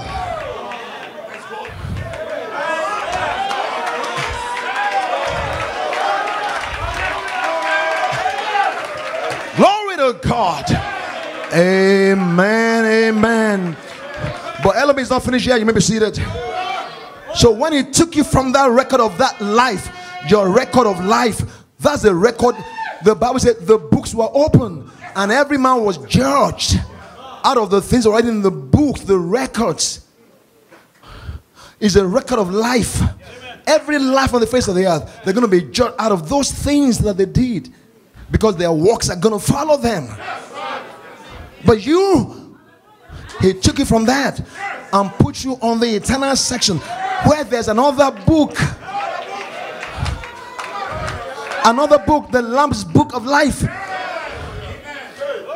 which is written in blood, where your name can never be taken out, where it was there eternally, where God's foreknowledge elected you. And the, your record in the book of life cancels out your record in the regular book of life. Oh, hallelujah. Can somebody shout hallelujah? Can somebody shout amen? Oh, hallelujah. You may remember and remember some of the things that I've done in the front part, but Jesus with special love forgive me of every one of them. Oh, I was guilty oh so long, but Jesus dropped the charges because a power of election took me and put me and wrote my name in the Lamb's Book of Life in the eternal section, never to be erased no more. That's where you are. Oh, hallelujah. And that's where we are going to have this original holy convocation. Oh, come on now, get ready for it. Get ready for it. There's going to be a shot in heaven shortly. Get ready for it. God is getting sons of God from different ages Paul's age, put them there. Arena said, put them there. Man said, put them there. Oh, glory.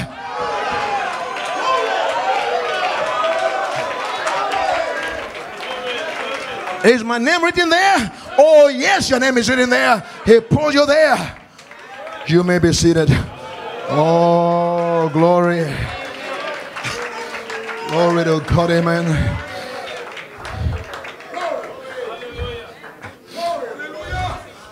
Moreover, when he, his foreknowledge elected you and pulls you over, he didn't stop there. God don't do no halfway job. He saw you wanted it. But I read last night, God wants to save you more than you want to get saved. The prodigal son, when he came back to himself, he had got away from himself. He got away from the Father first and got away from himself. But when repentance came to him, he came back to himself and went back to the Father. When he went back to the Father, he didn't have to say, Please, Father, please, I'm so sorry. The Father was waiting, neck stretched out, waiting for his son to come. God wants to save you more than you want to get saved. God wants to deliver you more than you want to get delivered. And if you don't get delivered, you don't get saved, you have to fight your way to go to hell.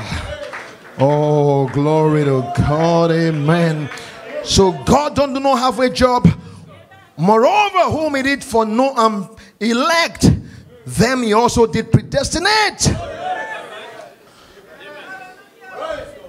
He took care of your past. Now he's going to take care of your future. And predestination is looking forward to your destiny. What's your destiny here? That they might be for whom he did predestinate. Moreover, whom he did predestinate, them he also called. And whom he called, them he also justified. On the back part of his mind. Amen. And whom he justified, Hallelujah. them he also glorified. What does that mean? When he elected you and put you on his back by the Lamb's book of life, he called you, justified you, cleaned you. First Peter 1 says, called, uh, uh, uh, uh, uh elect according to the foreknowledge of God the Father through sanctification of the Spirit unto obedience and sprinkling of the blood of Jesus Christ. Amen. Grace unto you and peace be multiplied. So when he pulls you on the back of his mind, the blood of Jesus Christ cleansed you, called you, sanctified you on the back part of his mind because on the back part is all good and no evil, no filth, no sin there. So he took you and put you there and cleaned you up before the walls ever were formed. Oh, that's the record of you in Elohim. That's the record of you in Elohim. Oh, glory to God. Amen. Amen. Amen. Moreover, whom it is for no one elect, he also did predestinate to be conformed to the image of his son, that he might be the firstborn among many brethren. Be conformed. Elohim playing with words in the English language. Be conformed, become formed into the image of his son on the back of Elohim's mind. So Elohim's record of you, you have already been formed into the image of his son. That's a record of you. When you say my name is written there, that's what it means. Your name is written there, standing there in the stature of a perfect man. Hallelujah. And the devil is jealous of you. This was the eighth day, eternal, eternity.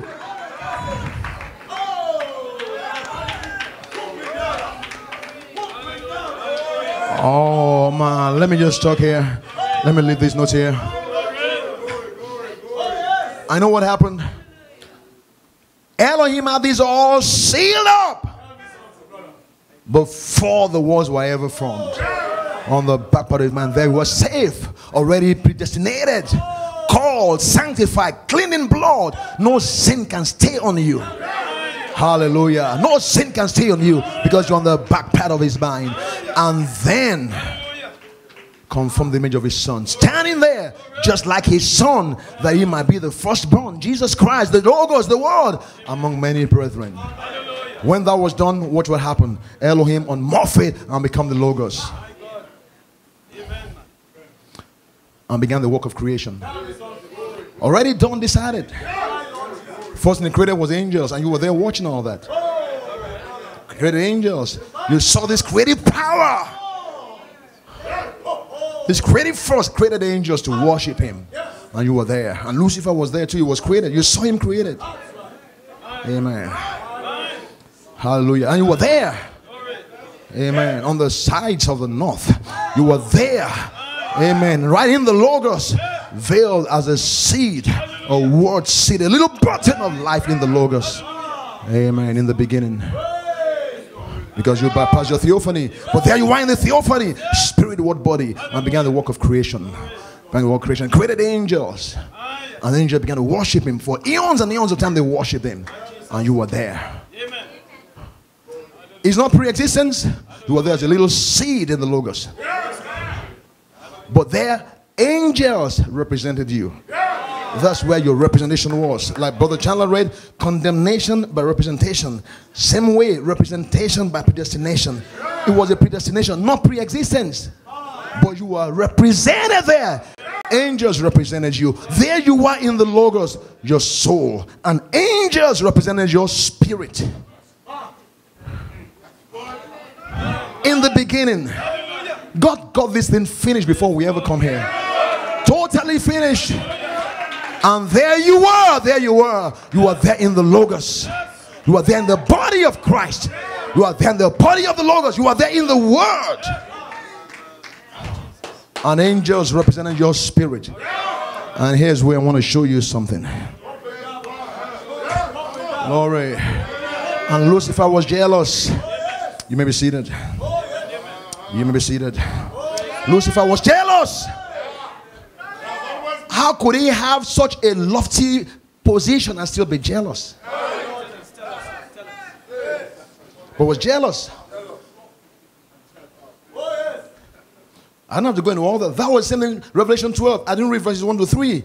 The woman was traveling child to bring for the man child. He was jealous of the man child. Who is this child that's also a man? Who is this child that's also a man? He was jealous. Because he's like a baby. Jealousy and feeling bad. Nonsense. Feel like a baby. But seeing this child is like a man. So he had his plans. And that's where you're going to see the different parts of the book of life. And you're going to see that Elohim kept you there. In that eternal section in that Lamb's book of life. And what happened? Lucifer fought. He went run, run heaven with his tail, like Brother Branham said, tail. T A L E. God playing with what's in English language. T A I L T A L E. Playing with words. When with his tail to tell tales on God. And got some to believe. And the Bible said he deceived. It's a deception. You know what? You never did in the first place. Even Paul said, Paul said, Paul said, Paul said, Paul said that if I do therefore that which I don't want to do, is that is no longer I that do it. He said, but sin that deceived me. Sin that's working in my members is what's responsible. But when you have a knowledge and an understanding of the book from the back part of Elohim's mind, your mind is enlightened. And the devil can deceive you no more. Adam wasn't deceived. So he can get the spot where he can deceive you no more. So anyway, he went around and gossip. Sulfuric acid in the church against this one, against that one, against this one, against that one. We're getting ready for this holy convocation. And the devil is going around there. And started a, war in heaven, a war in the church, up in heaven. And he fought. And Michael, representing Jesus Christ, wouldn't stand for it. The Logos wouldn't stand for it. He didn't start the fight. We don't start a fight, but we never run from a fight. No, we never run from a fight. Hallelujah. And Michael fought and Lucifer fought and Michael fought and Lucifer fought. Long story short, over seven church ages, this war went on. And at the end of the war, what happened? One third of the angels were deceived by Lucifer. And Michael said, I won't have this here. He threw them out of heaven, kicked them out of heaven. That's the power in the kingdom. Kick them out. So you have the power to kick him out of your life. So what happened? What happened? One thought was kicked out of heaven, and there remained two thoughts. A revelation there. One thought, two thoughts means there are three groups here. That's what it means. Means there are three groups here. One group was kicked out. And one group was from the back part. There's this other group here, we don't know where they're coming from. Brother Branham said there are four paths to the book of life. One path is not even written at all. Because forever, O Lord, the word is said in heaven, all that happened in the beginning when Elohim or morphed into the Logos and created angels, all throughout, that's all that has been happening on the face of the earth. It was previewed before the foundation of the world. And that's what has been happening. And God previewed it there. The fourth group, serpent seed, God has nothing to do with them. Their record is not there at all. But th- this is the foreknowledge playing out now. And in this foreknowledge every life is there except the serpent seed. You are there. Those who are kicked out are there. And there's this other mysterious group also is there. Amen. So there are three groups there. He had seen you and taken you out of there and put you on the back part of his mind. So you're one group. Other group stood, stood with Lucifer and they were kicked out. That's like the borderline believers. Borderline believers who almost come in. Almost come in. And the cares of life. They got deceived. Like Judas. Come to the borders and back off. But there's this other group who was not deceived. They are not from the back part of Elohim's mind, but they were not deceived. Who are they? They're the foolish virgins. The foolish virgins. They are not. They are not elected to be in the bride, so they're not from the back part. But they didn't take sides with Lucifer. Religious Christian people, good people, good people. They didn't get kicked out. They didn't take their names out of the book.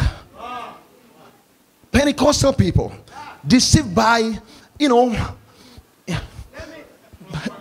Oral Roberts and these other different Pentecostal groups, and you know, we have many of them in Nigeria, I don't know, but here, so many of them, you know, who have been taught to believe that they can live worldly and still have Jesus. Who have been taught to believe that they love God in their hearts. They side with God, but they are not predestinated to be in the bride.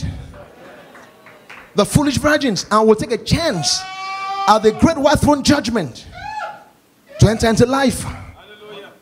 And another group also there is the Matthew 25 group. They also did not take sides.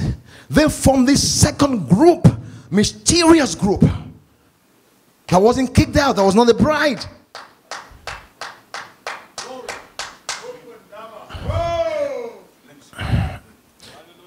There they were. The foolish virgins, religious people. Another group. Amen. Matthew 25, the sheep nations. Who do good things to the bride. Who are going to receive eternal life.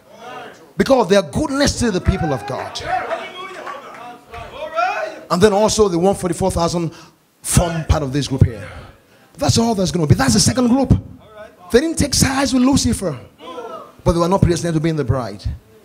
These good people do things that the people in the bride are supposed to do, but they will never do. People in the message, rather, are supposed to, but will never do. Hallelujah. Glory. So, what do you have? Three groups the bride, the foolish virgins group, and the borderline believers. The borderline believers were kicked out so you have the two thoughts the bride, the foolish virgins that stood with Michael. Oh, glory. Glory to God. Amen.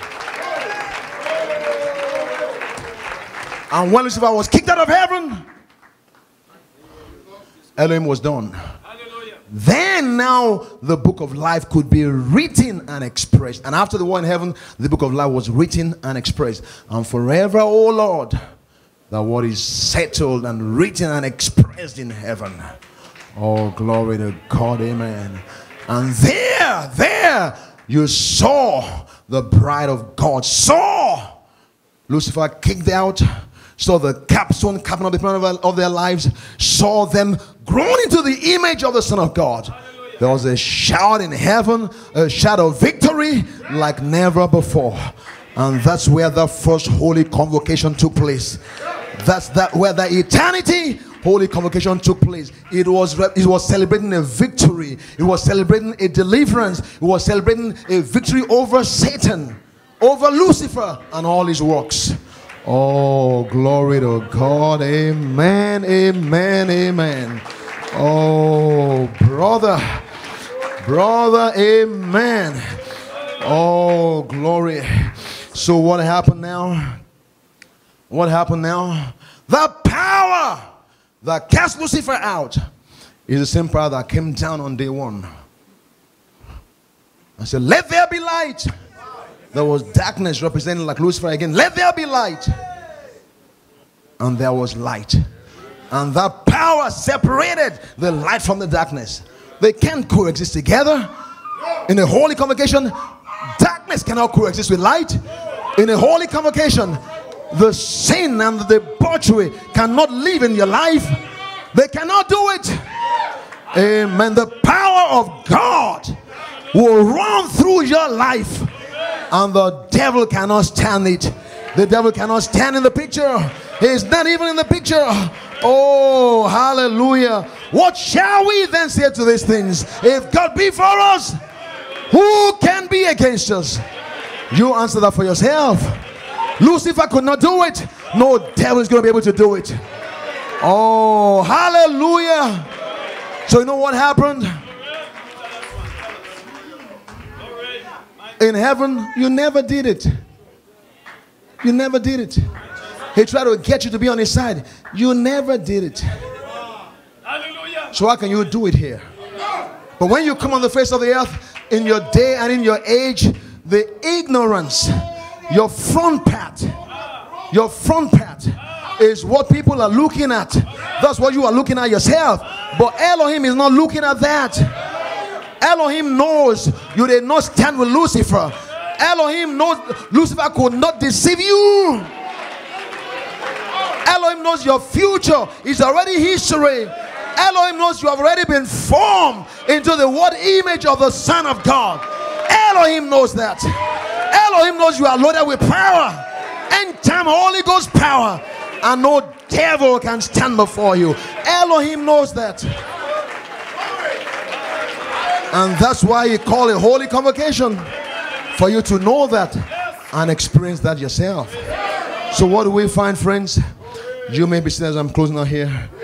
Glory to God, amen.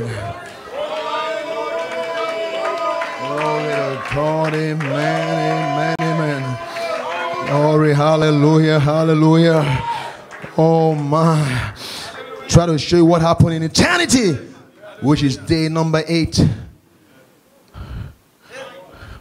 That's what day number one represents, and that's what Adam was living in the Garden of Eden. The number eight represents an authority, a power over Lucifer, over everything that confronts and challenges, a power, an authority, a confession. Amen. Glory to God, amen, amen. No servile walk, no slave walk, no prison bars. Amen. The devil tried to bring in those who were in prison with him were kicked out with him. But those who are in the holy commission in heaven, no prison bars. Oh, glory to God. Amen. And so we come on the face of the earth. That's our history before God. We come on the face of it with a front path and we go from here, from here, from there, when drugs, when prostitution, when whatever, or whatever it is. And people take a look at us and say, Oh, this person here. But God knows. And one day he catches you, pulls you into entire section, just like he did before. And here you are in church. And the devil, like he did in the Garden of Eden, even though Adam lived in eternity in Eden, the devil still comes to try to introduce sin there. And that's what he does with you. And sin is a deception. You don't want sin. No, you don't want sin. You don't want the filth. You don't want the ungodliness. It's a deceiver. Sin deceived you, Romans 7 says. How does it deceive you? Through your emotions. Let me give you an example. I say, that brother is a very stupid boy. And you feel bad at me. Do the words hurt you? No. But you feel bad because your emotions are hurt. Your emotions are hurt. Husband's hot at the wife, wife's hot at the husband, brother's hot at brother, sister's hot at sister. That's the deception. The emotion is deceiving you that you are hurt. You are not hurt. Because on the back part of Elohim's mind is only good. And that's where you come from. Oh, hallelujah. So, what are we saying here? You never did in the first place. So, here we are. The Holy Spirit is dropping upon us to bring us to the spot on the face of this earth here to where truly we will never do in the first place. Hallelujah. Glory to God. Amen. Oh, hallelujah. Blessed be the name of the Lord. I'm done, I'm finished. But my closing remarks here. Amen. As you go through this convention here, young man, young woman, this is what you want to know. The holy convocation is a power that comes into your life to separate the light from the darkness. To turn your evening into morning, to turn your night into day, to give you a brand new day. The evening become the morning, the night become the morning, your darkness become morning, oh, your weakness becomes strength. Hallelujah. Fear becomes courage. That's the power that's in the house right now. Oh, hallelujah. Glory to God. Amen. Amen. Amen. Amen. Amen. Amen. Amen. Amen. Oh, brother, I am done. Pianist, organist. Amen. Amen. Amen. Glory to God. Amen. Who shall lay anything to the charge of God's elect? If God be for us, who can be against us? Turn to your neighbor and say, Who God be for you? Who can be against you? Oh, yeah. So here we come, friends. My closing remarks. Here we come with a promise. There's another holy time coming. An eighth day holy convocation is promised us. What is it, friends? It's a promise of power. Amen. To turn your night in today is a promise of power. To bring on for you a brand new day is a promise of power to create sons of God. Amen. In the full stature of Jesus Christ. Amen. Like in the first Eden. Oh my, a promise of power to break your prison doors. So you do no servile work therein. Is a promise of power. Amen. To the firstborn family. Amen. To change your confession from weakness to strength, from fear to courage, from night to day. Oh, glory. And the evening and the morning were the first day. The power to break your shackles, the power to bring you to the spot to where you'll be justified. You'll stand justified. And you'll never do in the first place. And you will never do in the first place. That's the part that brings you to adoption time. So you'll never do in the first place. God bless you. God bless you. Oh, glory.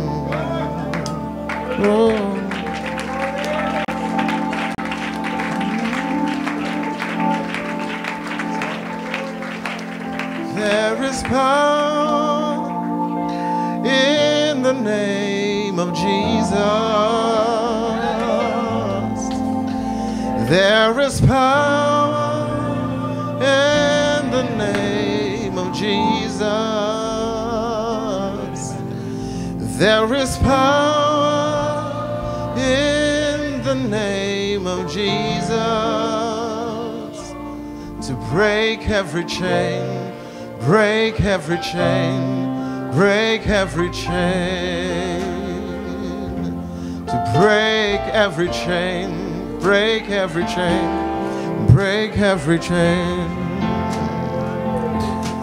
There is power in the name of Jesus. There is power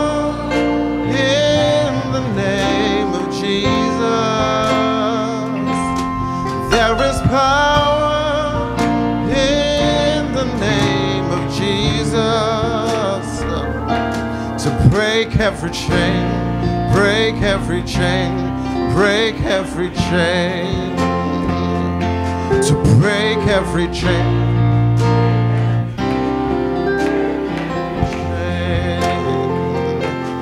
There's an army rising up. There's an army.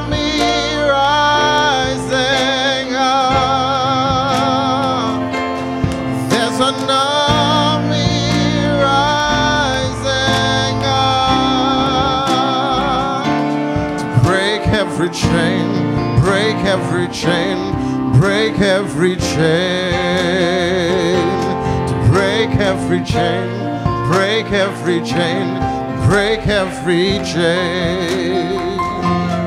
There is power in the name of Jesus.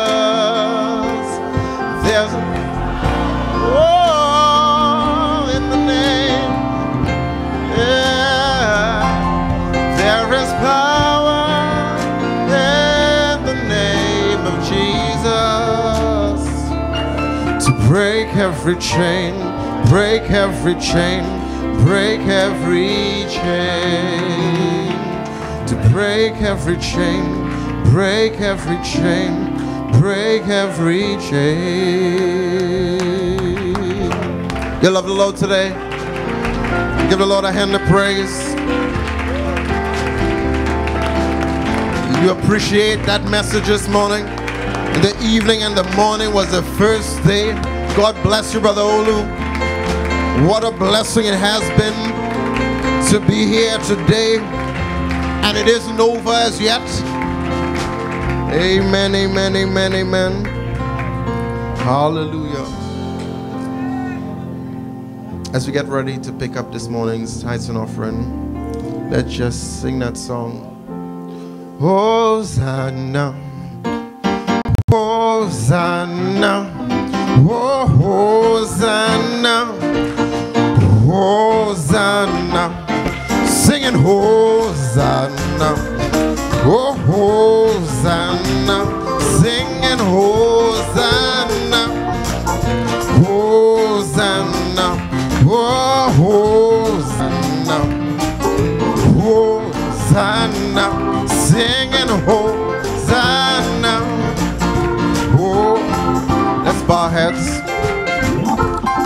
Father, we just bring this morning's tithes and offering before you. We pray you bless those that give, those, Lord, provide for those who don't have to give, Lord. Lord, may be used for the furtherance of your gospel. Lord, I pray that even as we leave this place in a little while, that your Holy Spirit will continue to be with us, Lord. Lord, keep us ever in your presence, Lord. In Jesus' precious name we pray. Amen. Oh, singing Hosanna, oh, Hosanna, Hosanna. We didn't let the devil win. Oh, we didn't let the devil win. Oh, we didn't let the devil win. Oh, we didn't let the devil win. So we singing Hosanna, singing Hosanna. And you mean it, Hosanna.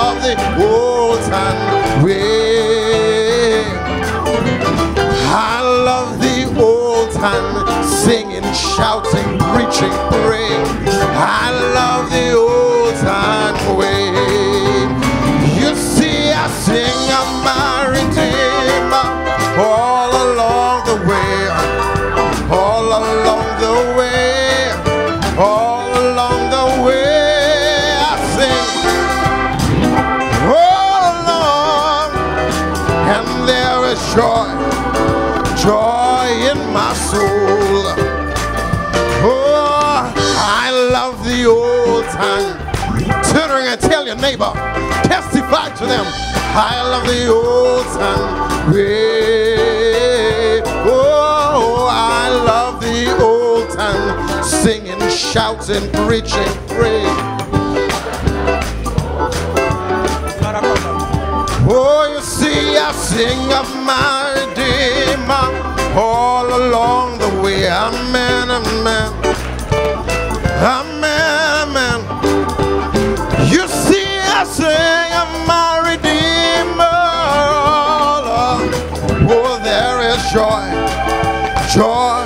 My soul. Let's sing it this way. I've got joy unspeakable and full of glory.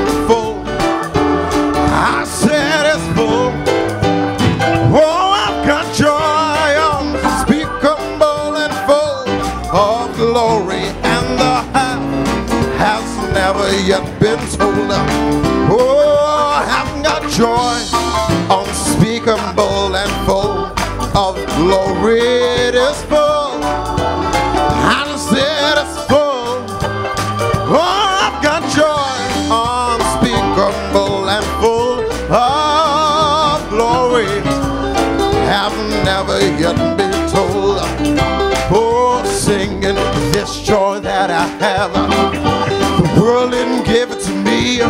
Oh, this joy that I have. The world didn't give it to me. This joy that I have. The world didn't give it to me. The world didn't give it. The world can't take it. Let's sing it without the music. Let me hear you sing. This joy that I have. Oh, this joy. Ah, mine. Sounds good. This joy that I have. Oh, the world didn't give it. All together, let's go. Oh,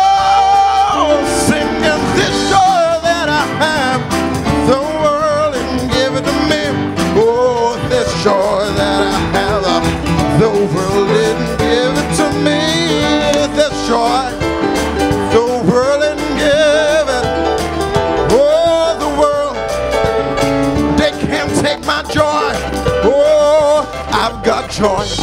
Like a river, I've got joy. Like a river, I've got joy. Like a river in my soul. I've got joy like a river like a river. I've got joy like. Let's take it up one more time. Oh, I've got joy like a river. I've got joy like.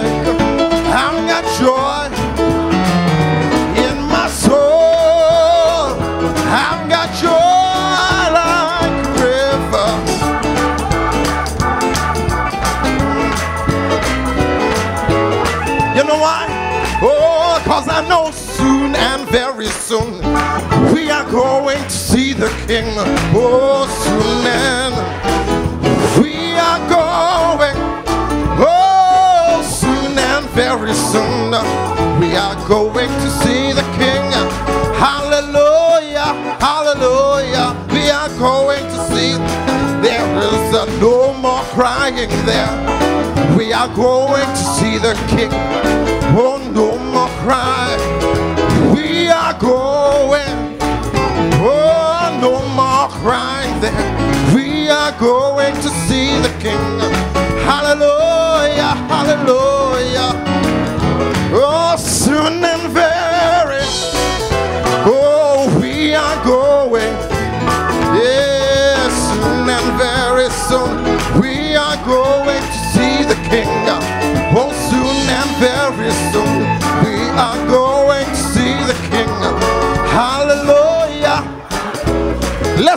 To the music.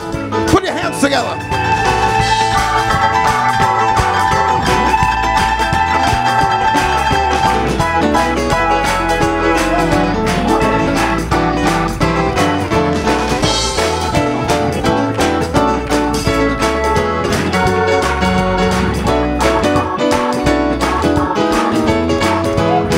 Oh,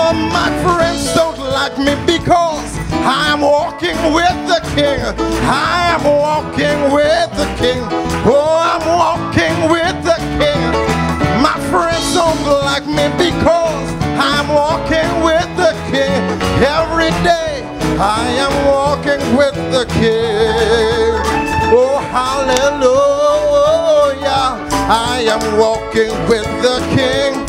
I'm walking with the King. Oh, I'm King. Hallelujah. I am walking with the King. Every day I am walking with the King. Oh, I said my friends don't like me because I am walking with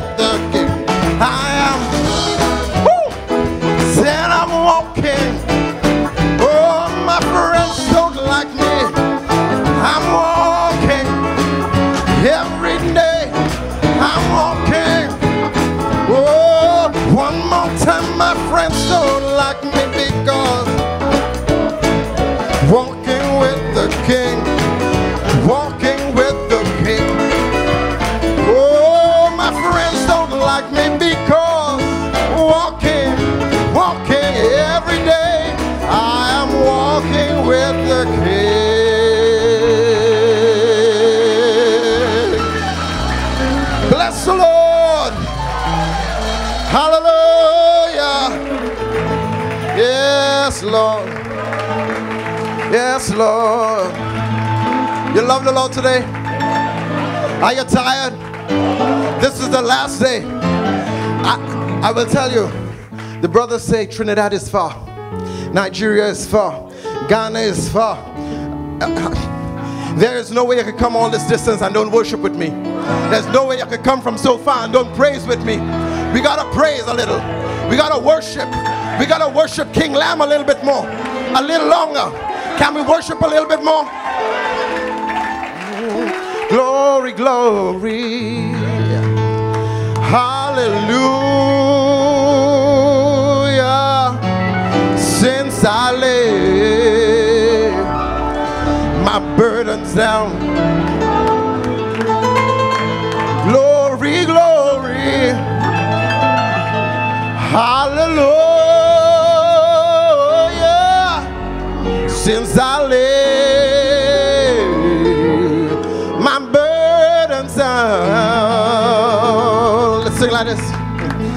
Said, I'm feeling so much better. So much better than I felt yesterday and the day before. Since I lay my burdens down, I said, I'm feeling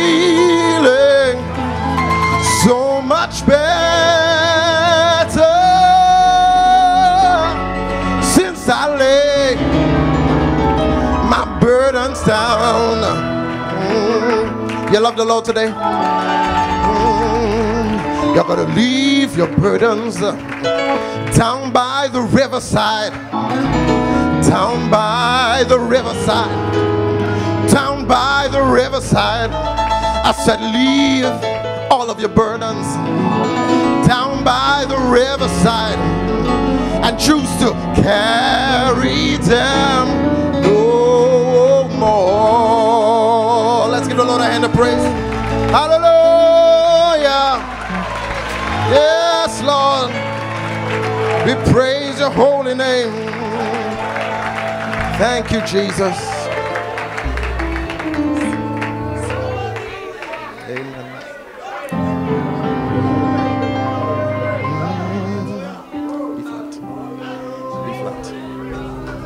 Yes, Lord. Yes, Lord. Yes, Lord. Yes, Lord. Yes, Lord. He alone is worthy uh, to worship and adore the Lamb of God, victorious, my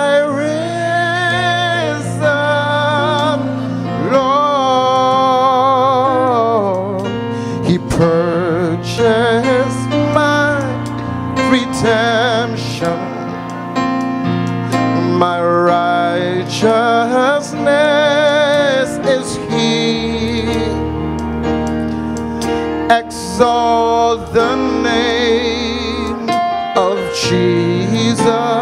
He is worthy. With every hand raised, let's sing it back to Him. Oh, He alone is worthy to door. The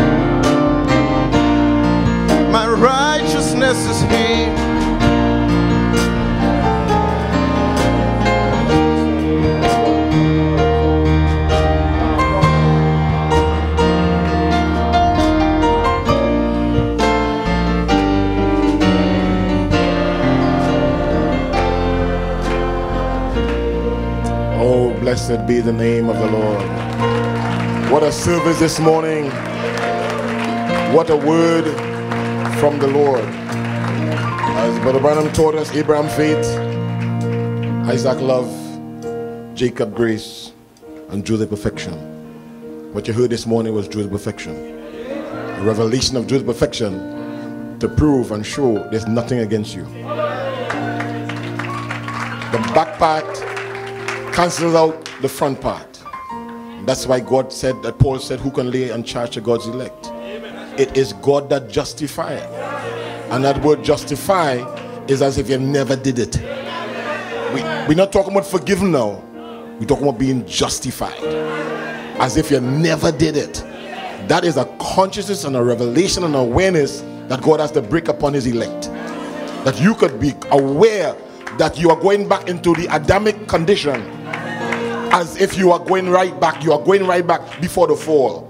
Before you slip, before you slide, before you backslide, before anything happened to you, you're going right back before that. Isn't it beautiful this evening? Oh, praise the name of the Lord. You may have your seats before we close off. Just want to welcome, praise the name of the Lord. You play Holy Spirit right now. You can play Holy Spirit right now.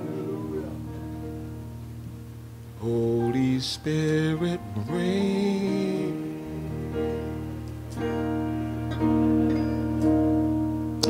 Praise God. We, today we want to greet and welcome Pastor Brent Jero and his family. What's Brother Brent is that? God bless you, Brother Brent. Thanks for coming. And we want to welcome also the believers from the Eagles Gathering Fellowship, but the Waldron Church. I believe a lot of them are here. God bless you and welcome. Praise the Lord. And we have uh, brother Joseph uh, Benjamin, I believe, and Lisa, uh, sister Lisa Allen. We're visiting from Lighthouse Bible Tabernacle in New Jersey, USA, where they are. Praise the Lord. God bless you and welcome to the Headstone Tabernacle. Praise the name of the Lord. And also, we have some believers here from Brother Wilson's Church, where they are. Praise the name. God bless you, brothers. Brother Dewey and his wife. Praise the name of the Lord. He was part of the building process of this tabernacle. God bless you, my brother and sister. God bless you. Praise the Lord. Amen. Amen. Praise the name of the Lord. So we want to bow our heads and close our eyes and with a prayer.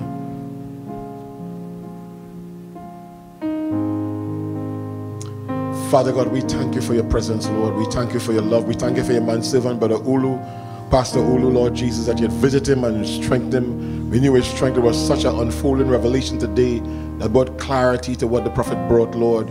It make more sense to it. Father, we thank you for him and his wife, his family, his church.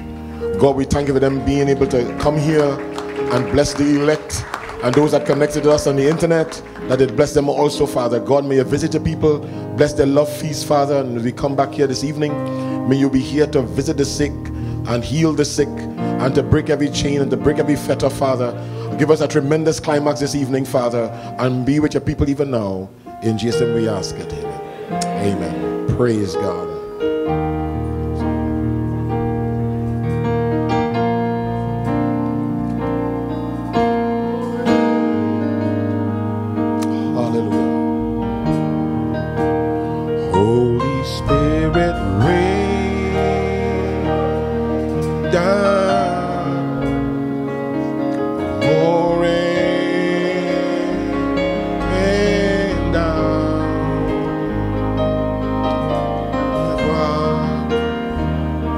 Comforter and friend, how we need your touch. Ushers, come forward again. Oh, Holy Spirit.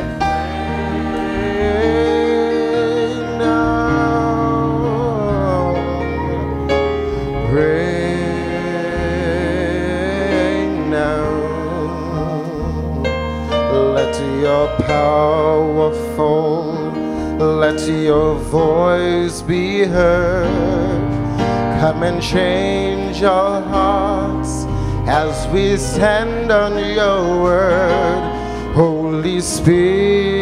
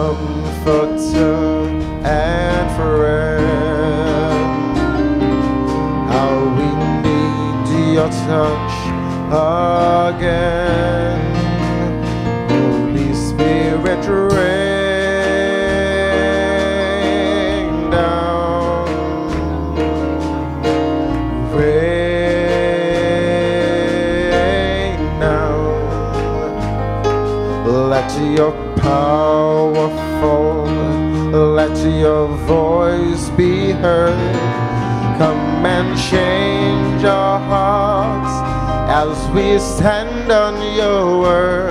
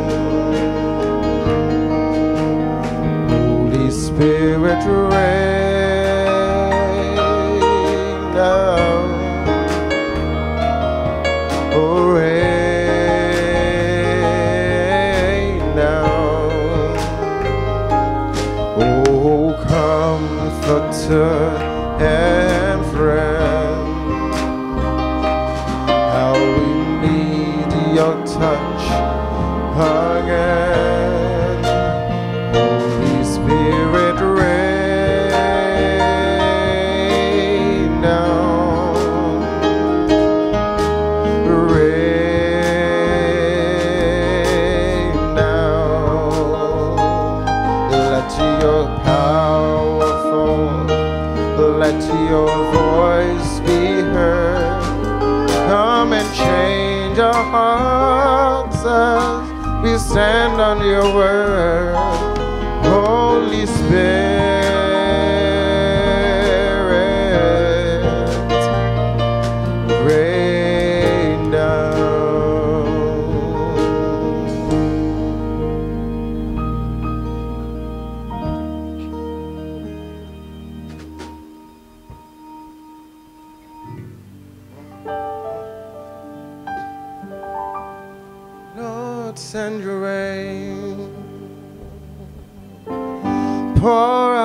spirit.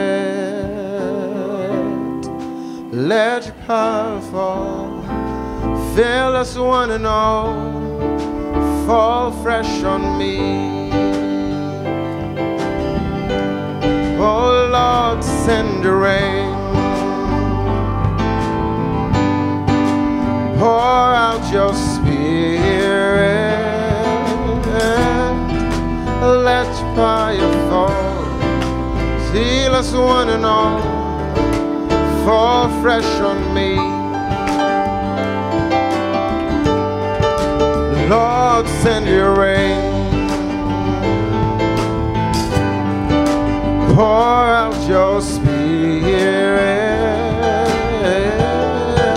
Let your fire fall. Fill us one and all. Fall fresh on me. Oh Lord, send your rain. Pour out your spirit. Let the fire fall. Heal us one and all. Fall fresh on me.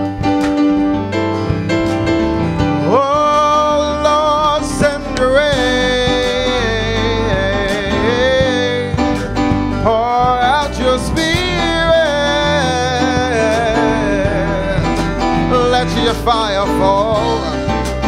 Fill us one and all. Fall fresh on me. Oh Lord, send your rain. Oh, pour out your spirit. Let your fire fall. Oh, fill us one and all. Fall fresh on me. Oh, let the worshipers arise. Oh, let the sons and the daughters sing.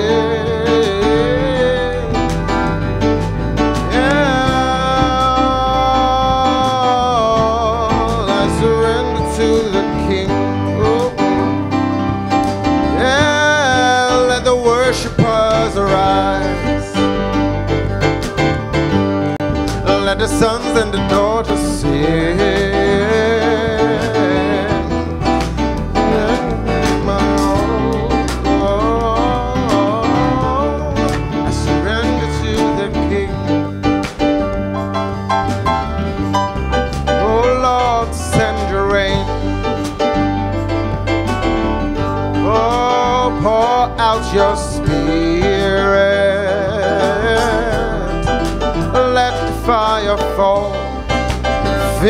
One and all.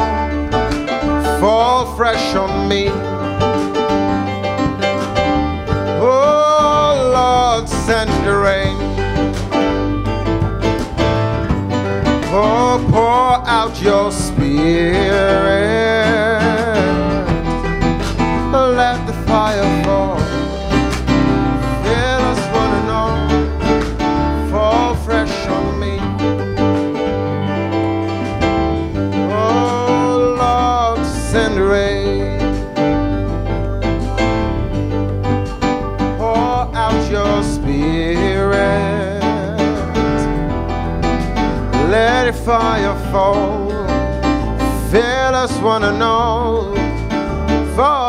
Fall fresh on me.